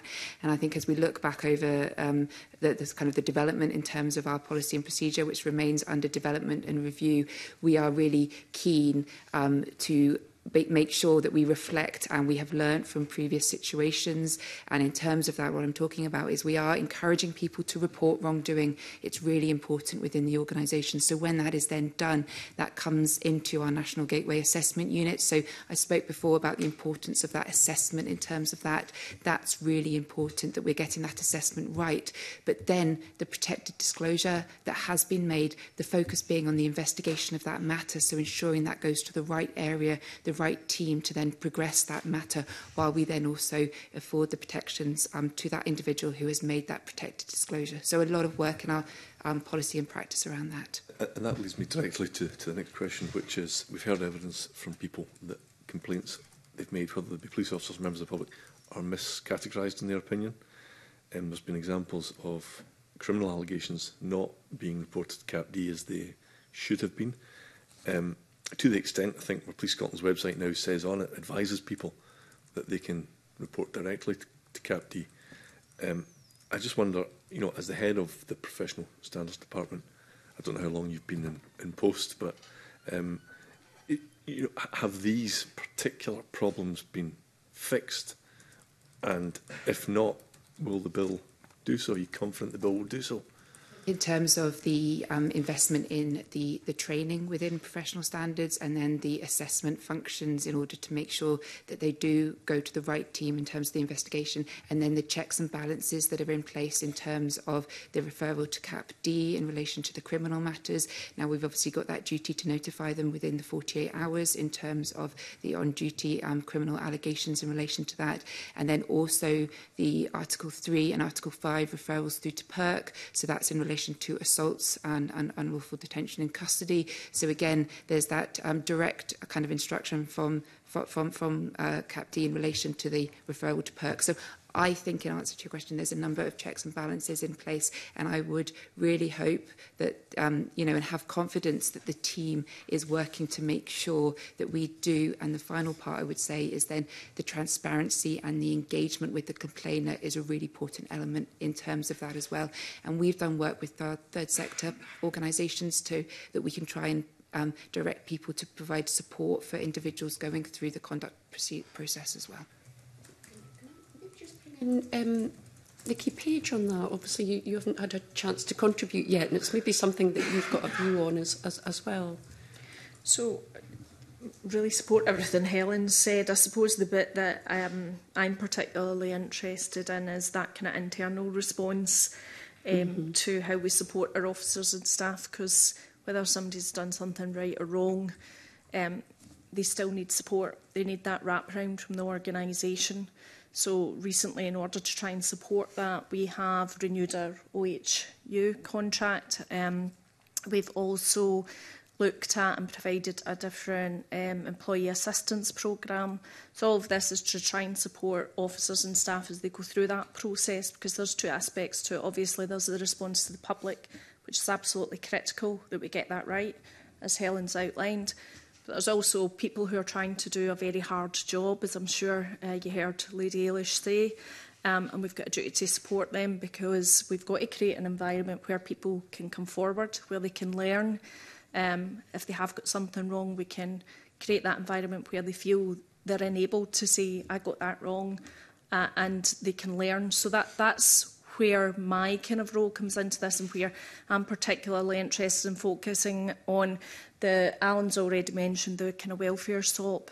So it, it's that kind of wraparound and creating that different culture internally so that people feel they can come forward because I think a lot of the work we're doing in policing together is creating an environment where people can notice things as they're going wrong, come forward before they escalate or behaviours escalate. So as we've got a better opportunity to step into that space and assist people before it gets it gets worse.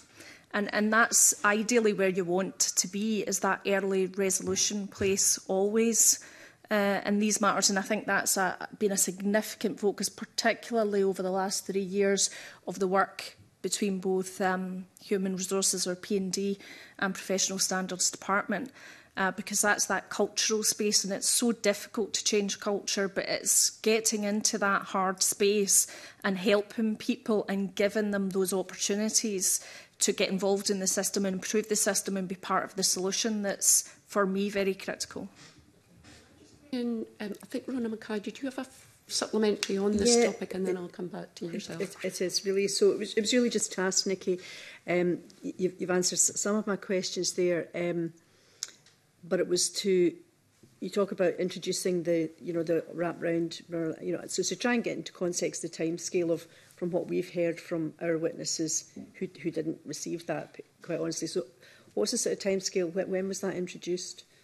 So in terms of that, that's really kind of been the last three years we've looked at the kind of welfare SOP and we've renewed uh, some of these aspects. So, and, and certainly it's only been the last year that we've reviewed our occupational health provision uh, and we've changed our um, EAP provision as well. So, mm. so there's a lot of work in this space ongoing. And is there an evaluation of that been done at, at any point? So, so there was evaluation obviously done the lead up uh, to us looking at what we needed in a new contract so that we could fully inform that tender process. Mm -hmm. So um, that's and it's feedback from things like this uh, as well that we would take into account when we are renewing contracts. Mm -hmm. So getting that uh, particularly mental health focus because we understand it's the strain on people's mental health as they're going through a process mm -hmm. like this has been critically important to our new contracts and describing what we need.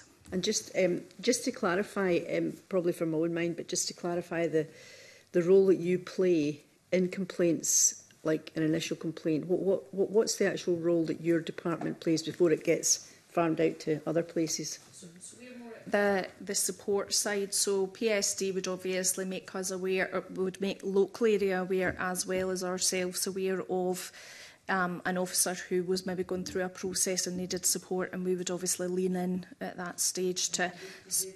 At you directly, or so it's normally uh, well, actually, yes, PSD do that on a regular. No, but basis. Does, does the officer contact you as human so resources? each officer will have a welfare contact, right. um, and often it's the welfare contact that will come to us and say, you know, what, what do I need to know? How, what do I need to understand to support this officer through the journey? So it'll be that individual that will be that direct liaison, but the provisions round about them and the signposting uh, so that they know what they can offer that officer will come obviously from the support we give. Okay, thank you. Thanks, Convener. Thanks, so Just to pick up an extension on, on the question about procedures and what's now happening, which perhaps didn't used to happen. One thing we learned is that PERC now any allegation of assault is now automatically, since October 21, reported to Park. Does that include really minor, for example, the classic tightened handcuff allegation? Would that count as an alleged assault?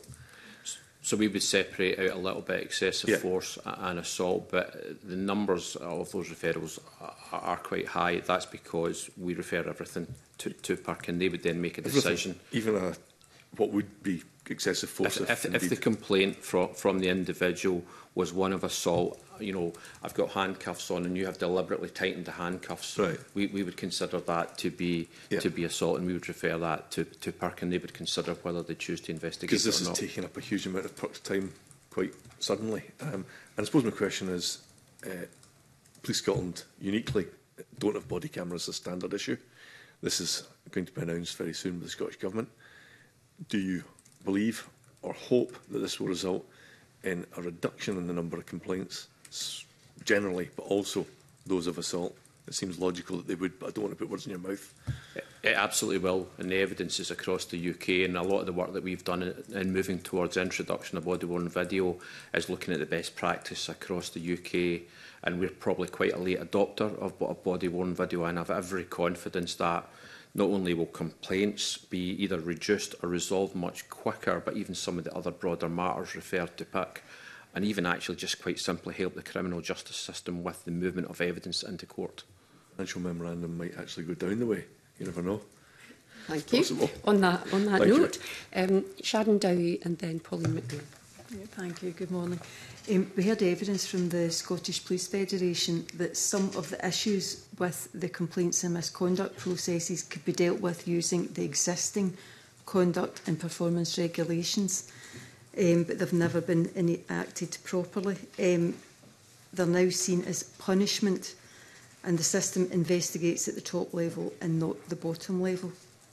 Could I get your comments on that? Yeah, yeah, yeah, you can. I mean, I mean, firstly, the conduct regulations are regulated. So I, uh, if we were misusing or adopting the conduct regulations in the wrong way, we would know about it because we'd be sub subject to frequent challenge, whether legally or through staff associations, and, and, and that's simply not, not the case. I think I, uh, I touched on the fact that only a very small proportion of conduct matters are dealt with at a serious end and Helen highlighted that a largest proportion of conduct matters are then dealt with through improvement action, which is what can the officer learn and how could he, could he improve on on the experience?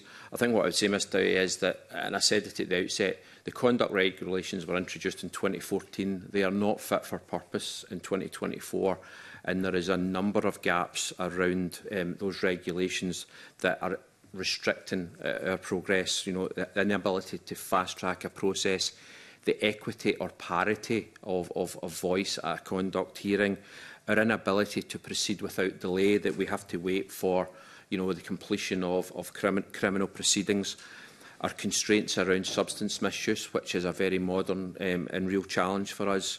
So there are, there are numerous gaps for me within, within the conduct regulations.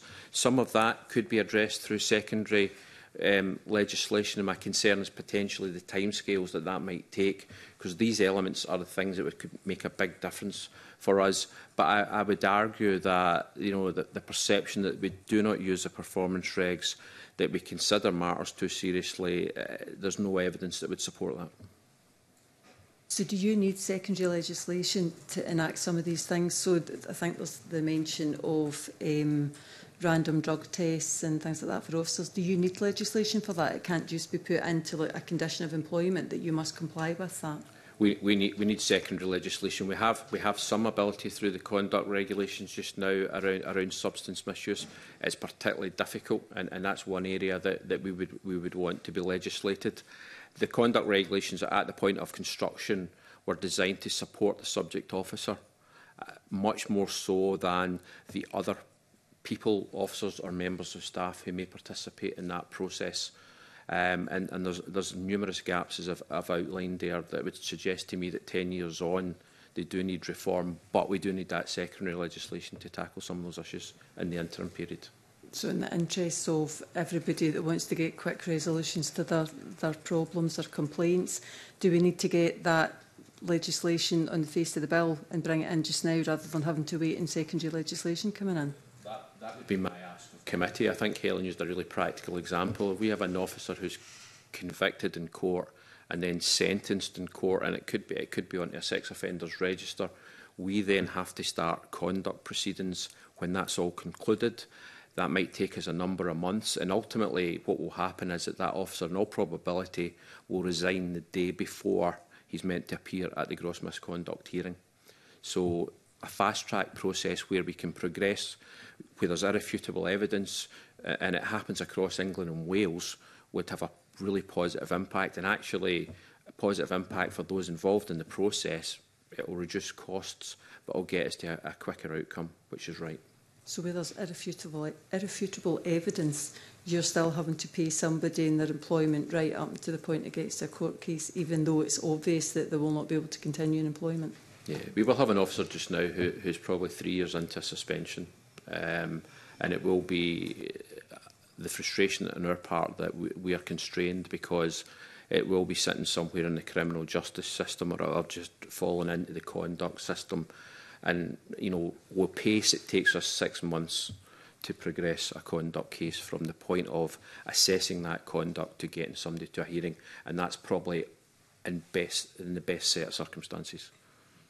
So there's some things that you need legislation for. Is there other bits where you need training for? Is there a lack of training somewhere? Uh, uh one of the instances was um, one of the witnesses that we got came in and was told, heard that he had been put onto restricted duties, but he was never told why he was put onto restricted duties. And we've since heard um, more evidence since then that basically says there was no reason why that should have happened. And I find it hard to believe that somebody could either be suspended or put in restricted duties without actually being told the reason why. So is there a training issue there? Is there a performance management issue? I don't think there is, but what assurance I can give you. So that particular circum circumstances is more than 10 years old. So in 2016, we quite significantly changed our processes and I could categorically assure the committee that we have no officers restricted or suspended where they don't have clarity around the circumstances leading to, to their restriction or suspension. We may retain and withhold some really sensitive in, information around the, the identity of where, where that complaint or allegation has came from. But, um, you know, the, again, I said earlier, the decision to restrict or suspend is taken at a very senior level, and I have absolute confidence in my team that we are really clear about the rationale for, for those restrictions and suspensions. Right. I think that's one of the things the committee need to actually get their heads around, actually, because there seems to have been a lot of non-legislative uh, recommendations that have been actioned and we have heard evidence where there has been a lot of improvement. So we just need to make sure we're putting the right things into the bill, which are the things that we don't want to wait in secondary legislation for. We want to put them in just now and just make sure that there isn't anything else in the bill that we don't need to put in because it's maybe not required. Okay, thanks. Thank you. Um, Pauline McNeill. Thank you very much and good afternoon. Um, I just wanted to clarify something you said in answer um, to Russell Finley's question in relation to complaints about excessive force of handcuffs. Are they two separate heads of complaint, assault and excessive force? They're two separate, they would be treated separately? Yes, yes. There are, there are two separate um, uh, complaint, um, mm -hmm. heads of complaint in relation to that, yes. Does that mean someone decides where the line is between excessive force some, before it goes to park? So what will happen is that we will have a look at the circumstances in relation to it. Is the officer acting fully in accordance to their, their, their training in terms of the officer safety training? There will be that assessment in terms of it.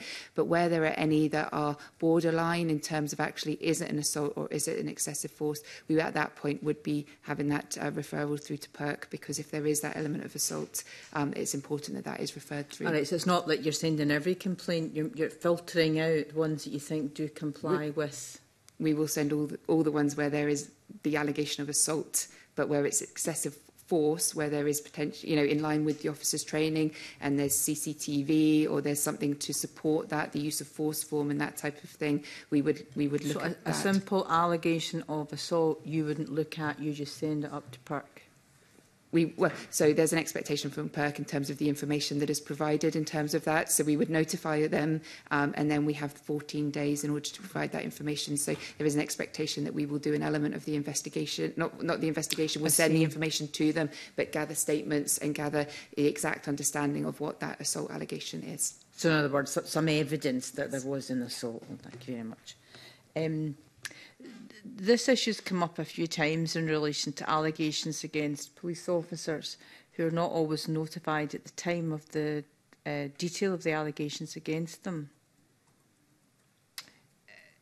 Uh, uh yeah.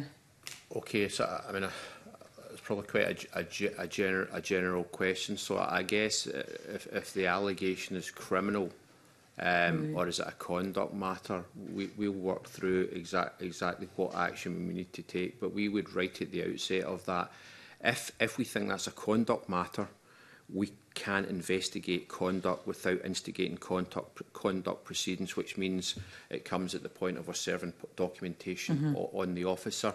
There'll be some instances, as, as there would be for a member of the public, that we might be progressing – a, a criminal investigation with a degree of discretion, particularly if it's domestic or if it's sexual related. But we will always ensure that officers are made aware of, of the detail that they need to know at, at the, right, the right point in time.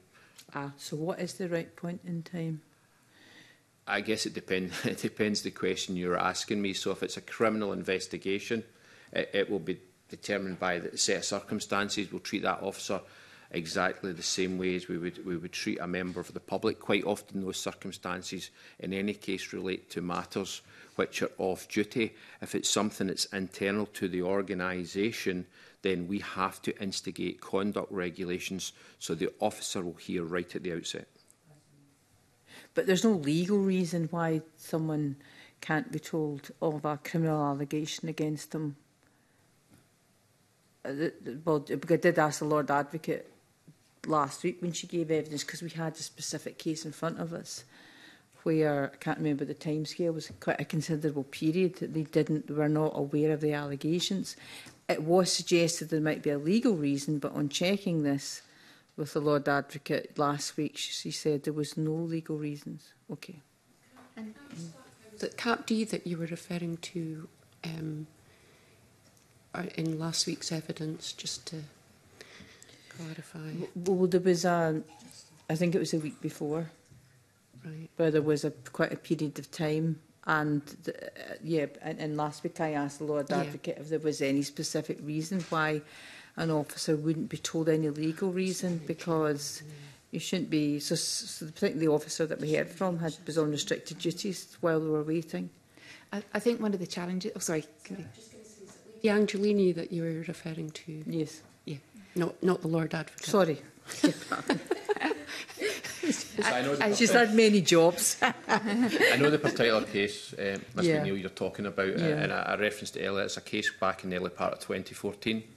Mm -hmm. I think organisationally we moved on. I'd be surprised right. um, if the officer was, wasn't aware, but accepting that um, that might have been the case. We have we have dramatically we have dramatically moved on.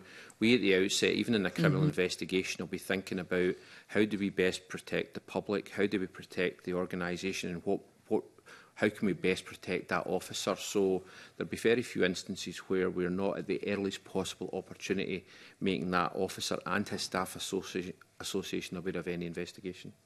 And if I can just add to that, I think that's one of the key points that the DCC's just covered there. Often we actually have to engage with the officer maybe earlier than we would do with a member of the public because actually what we need to do is to make sure the necessary checks and balances are in place are in relation to whether that's restrictions or suspension, but also for the officer's welfare as well in terms of that understanding. So we will try and be as transparent as we can in terms of that. Um, there are certain points. So a regulation nine within the conduct regulations where actually the allegation allegation is written out and that shows that the officer may well then come into conduct at the end of criminal proceedings. So there's checks and balances through that. A suspension um, notification will detail the general circumstances and then suspensions are very much subject to strict review. Um, they have to be reviewed at least every 28 days in terms of that as well, where we're looking for either change of circumstances and that's undertaken by the Deputy Chief Constable. So there's a number of checks and balances in place in terms of that.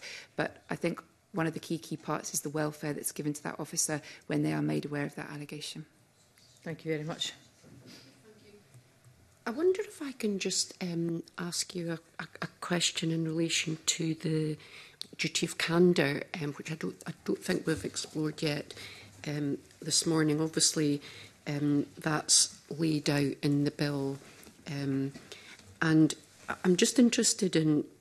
um, your thoughts on whether the, the way it is, it is set out in the bill is sort of sufficient um, in terms of who it covers and if you feel that it would ensure sort of timely um, cooperation from police officers and, and staff in, in investigations. So should it be extended, for example, to some police staff? I think we spoke earlier with uh, the SPA about potentially, for example, custody staff.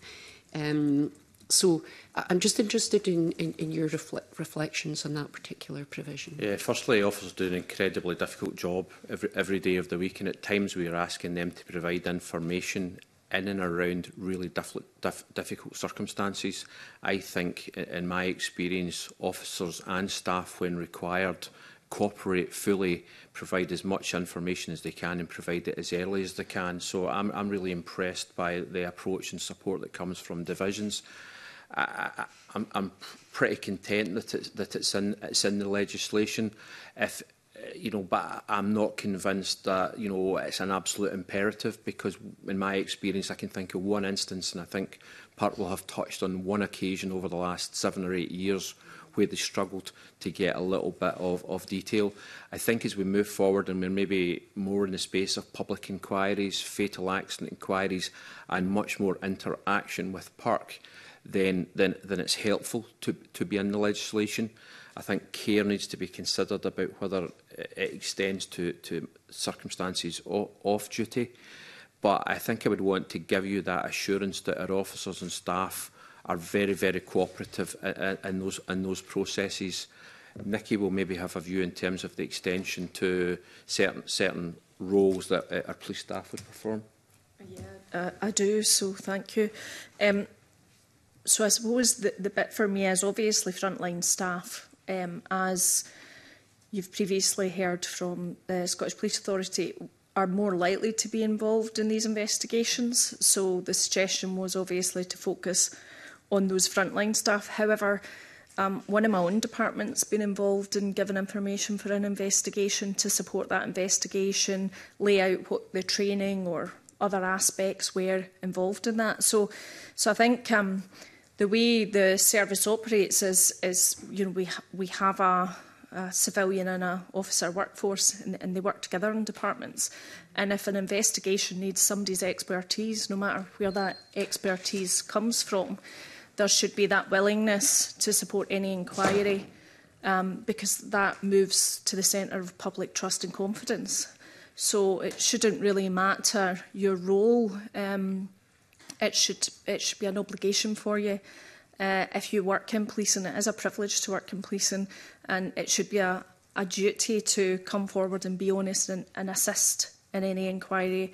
Uh, and it moves to time frames and everything else that we've already spoke about so that somebody at the end of that can get a conclusion in a reasonable time. And if there's that duty there, as Alan says, um, um, I'm certainly not aware, although I think there's been an odd case of anyone refusing to be involved in that process. But what it does is it just sets that bar and that expectation that when you're employed into policing, in any capacity that should you require to assist and should your knowledge support that, you should be willing and able to to give information that will assist in an inquiry. Mm -hmm. So I, I hold the position that it should be a duty across all people in, and it should be for Park and others to, to say it's you that can assist or you that can assist. That's very helpful. Um, if I can just ask another question, I suppose staying on, I suppose the subject of um, recruiting, you know, the best candidates possible um, for what we all know is an extremely difficult job, um, huge demands on police officers and staff. And it's just it's something we haven't covered um, yet, and, and that's vetting. Um, so we're aware that the HMICS um, assurance review vetting policy and procedure um, included a recommendation that the Scottish Government should place legislative requirements on Police Scotland in terms of vetting. Now, the Cabinet Secretary for Justice has advised that she's committed to exploring the legislative basis for vetting, particularly in the context of the, the, the bill that we're looking at um, today. I, I just wondered if there's any work um, already underway within the sort of vetting space, if you like, and any sort of additional comments that you might have, particularly on the back of the HMICS um, review. So firstly, we welcome the review. We, we recognise recognise the recommendations and, and I know and Helen knows how important vetting is. We've seen too many uh, illustrations across the UK about dysfunctional vetting systems and the, the consequences of them and I think vetting is another element which is the heart and trust and confidence. Over the last couple of years we've enhanced our vetting team. We have got a really high standard in terms of the level of, of vettings, vetting that we would carry out. Every probationer Uh, our new recruit on day one is asked to reconsider their, their vetting form and we'll do a reaffirmation of their vetting before they take, before they take the oath of office. Um, and that for me is incredibly important. The gap that probably exists um, as our ability in an instance when somebody's standard falls short of vetting, how would we then potentially exit them from the organisation? And, you know, we're looking at best practice across the UK, but we would welcome legislation that allows us, in the instances of a failure of revetting, to, to, to exit somebody, exit somebody from, from the organisation. Currently, it's much more, it's much more difficult it's much more difficult to do and as we go forward we would want to have a more routine revetting program again Lady Ailish touched touched on that in, in, in her review and, and that's absolutely the space that, that, that we would want to be in. So we, we, we would welcome um, some further dialogue, but some solutions through the legislation that would help us in the vetting space.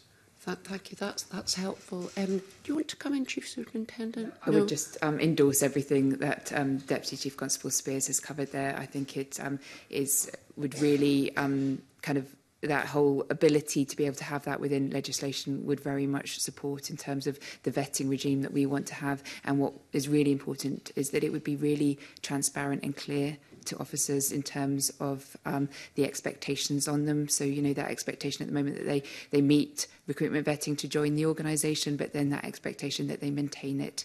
Um, now, clearly, there's other processes, the conduct process and other things that will kick in, but the vetting would then be able to be utilised in when it's the right right process to be able to be utilised if there is concern or issue, and it links back to that service to the the public and communities. Yeah, so, thank you. I don't know if Nikki Page, you, you've got any further comment you'd like to add on that?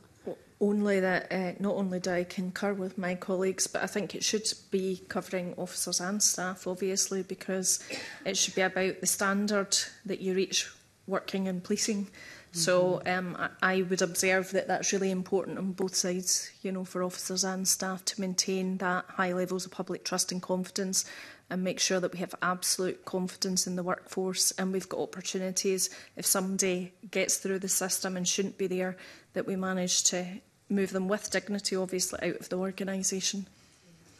Take it, I'm, I'm assuming that that would be a very small number of um, applicants, officers did integrity screening exercise in, 20, in the summer of last year, as, as did every other force across the UK. So we, we, we measured every member of, or every employee, officers and member of staff against a number of, of police systems in Scotland, and we found a tiny, tiny number of instances mm -hmm. where um, we interacted with officers and staff where they maybe had a notifiable association or something mm -hmm. that they probably should have told us that didn't result in any removal of, of, of vetting, but actually, again, just gives a little bit of assurance that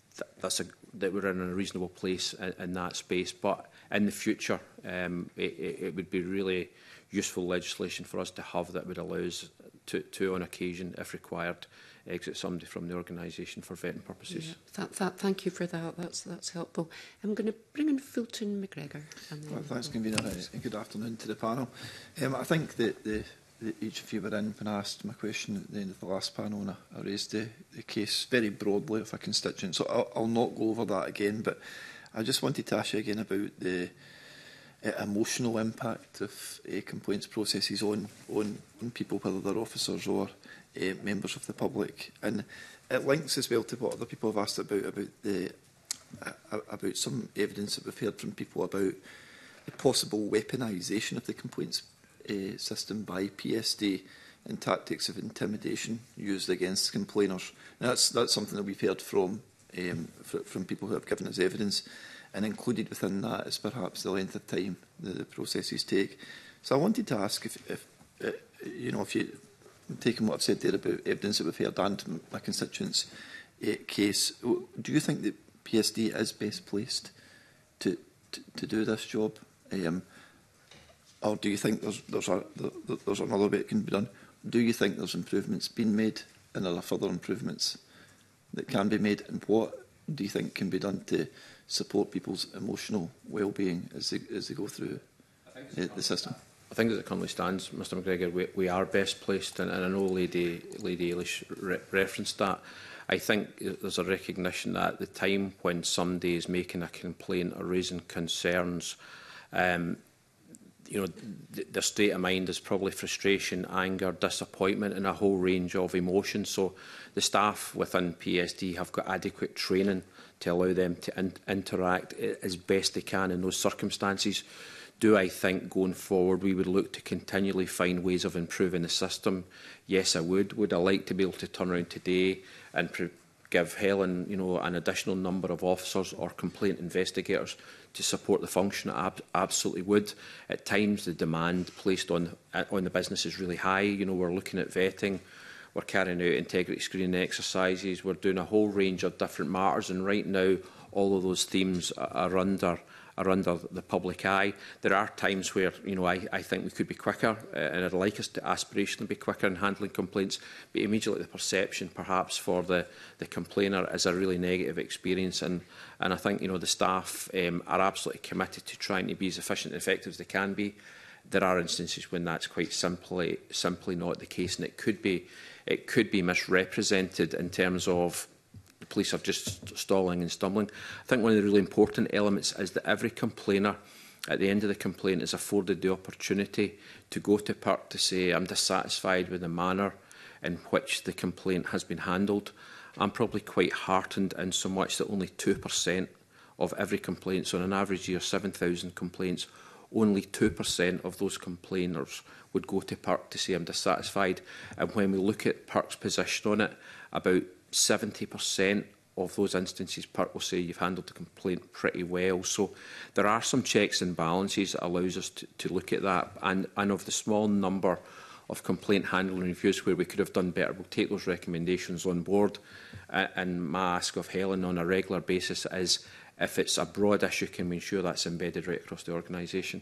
I don't know if you want to add anything to that. I, I would just add that um, I think that's a really important part of, of, of the professional standards work that we do, that feedback in terms of the organisational learning, the, the trends and patterns that are coming out of complaints um, in terms of feeding those back to division, because that's how we ultimately improve the service to the public and stop these uh, reoccurring again. So the team are working really hard in terms of, of that. We then also have the, the PERC recommendations and the audits that come in, which enable us to continually review and look at our processes, put um, measures in place so that we are improving that ability to bring a swifter conclusion to these matters for people involved. But, uh, you know, it's away from uh, the, the service to the public, but also internally in terms of officer and staff well-being, minimising the length of time that officers and staff um, are involved in terms of these processes and trying to be more transparent in what we're doing within PSD as well.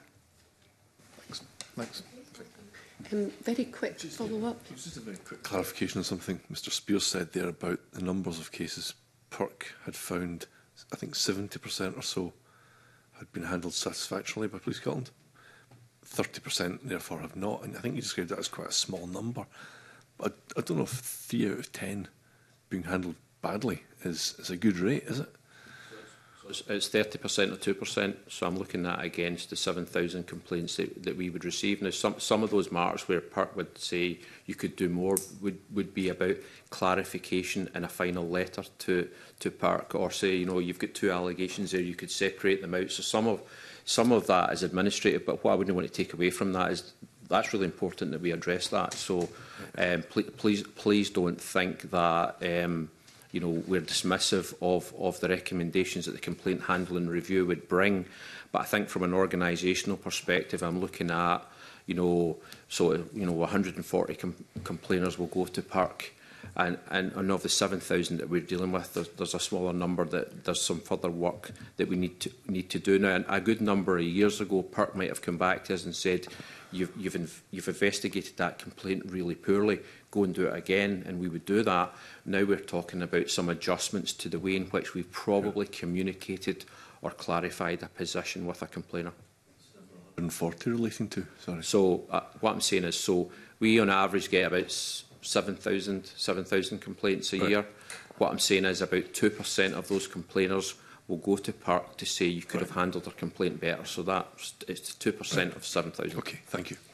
Thank you. I wonder if I can just finish off with a couple of um, quick-fire questions. Um, the first is on um, the proposals around a barred list, and I'm just want so some in some evidence we've heard some kind of concerns about the proposals around it being public. Just interested in what your views are on, on that proposal so we, abs we absolutely support the, the introduction of, of a barred list. Mm -hmm. um, I, I think if we were to say it's only in private and it's only for a policing purpose, there's very few people leave the organisation would enter a barred list and would probably re-enter policing. Mm -hmm. But I do recognise that they may enter other public service type, type mm-hmm. roles. And it, I think for me it would be important that broader public sector organisations have the ability um, to, to access the barred list. So we, we, we would welcome um, that being, being as, as transparent as it possibly yeah. can. Okay, thank you. My final question is around timescales. So I'm just interested in whether or not you agree um, that Police Scotland should respond to PERC um, recommendations within specific timescales. Is that feasible? Is it possible? that challenging? Uh, we are really committed to, to, to delivering against those recommendations. Now, while it's not legislated, if, if I get a, a recommendation from the Commissioner in any investigation that are carried out, we, we, we will address that recommendation. I'm quite relaxed, if I, if I can say that, around timescales because it is really important that in the, the learning space that we take forward we, we take forward those recommendations. There are one or two recommendations we receive, whether it be from PERC or HMI, that have you know challenges around their systems and, and you know but we'd be really open and honest and upfront at the very outset about our, our delivery timescales around them but I, uh, I'm uh, very content and if that adds to the the picture that is of transparency, then I would welcome that. Mm -hmm. Thank you. Okay. Okay, I'm going to bring the session to a close. Thank you very much indeed. That's been a, a, a very helpful um, session. So th thank you again. Uh, and we'll now move into private session. Thank you. Thank you.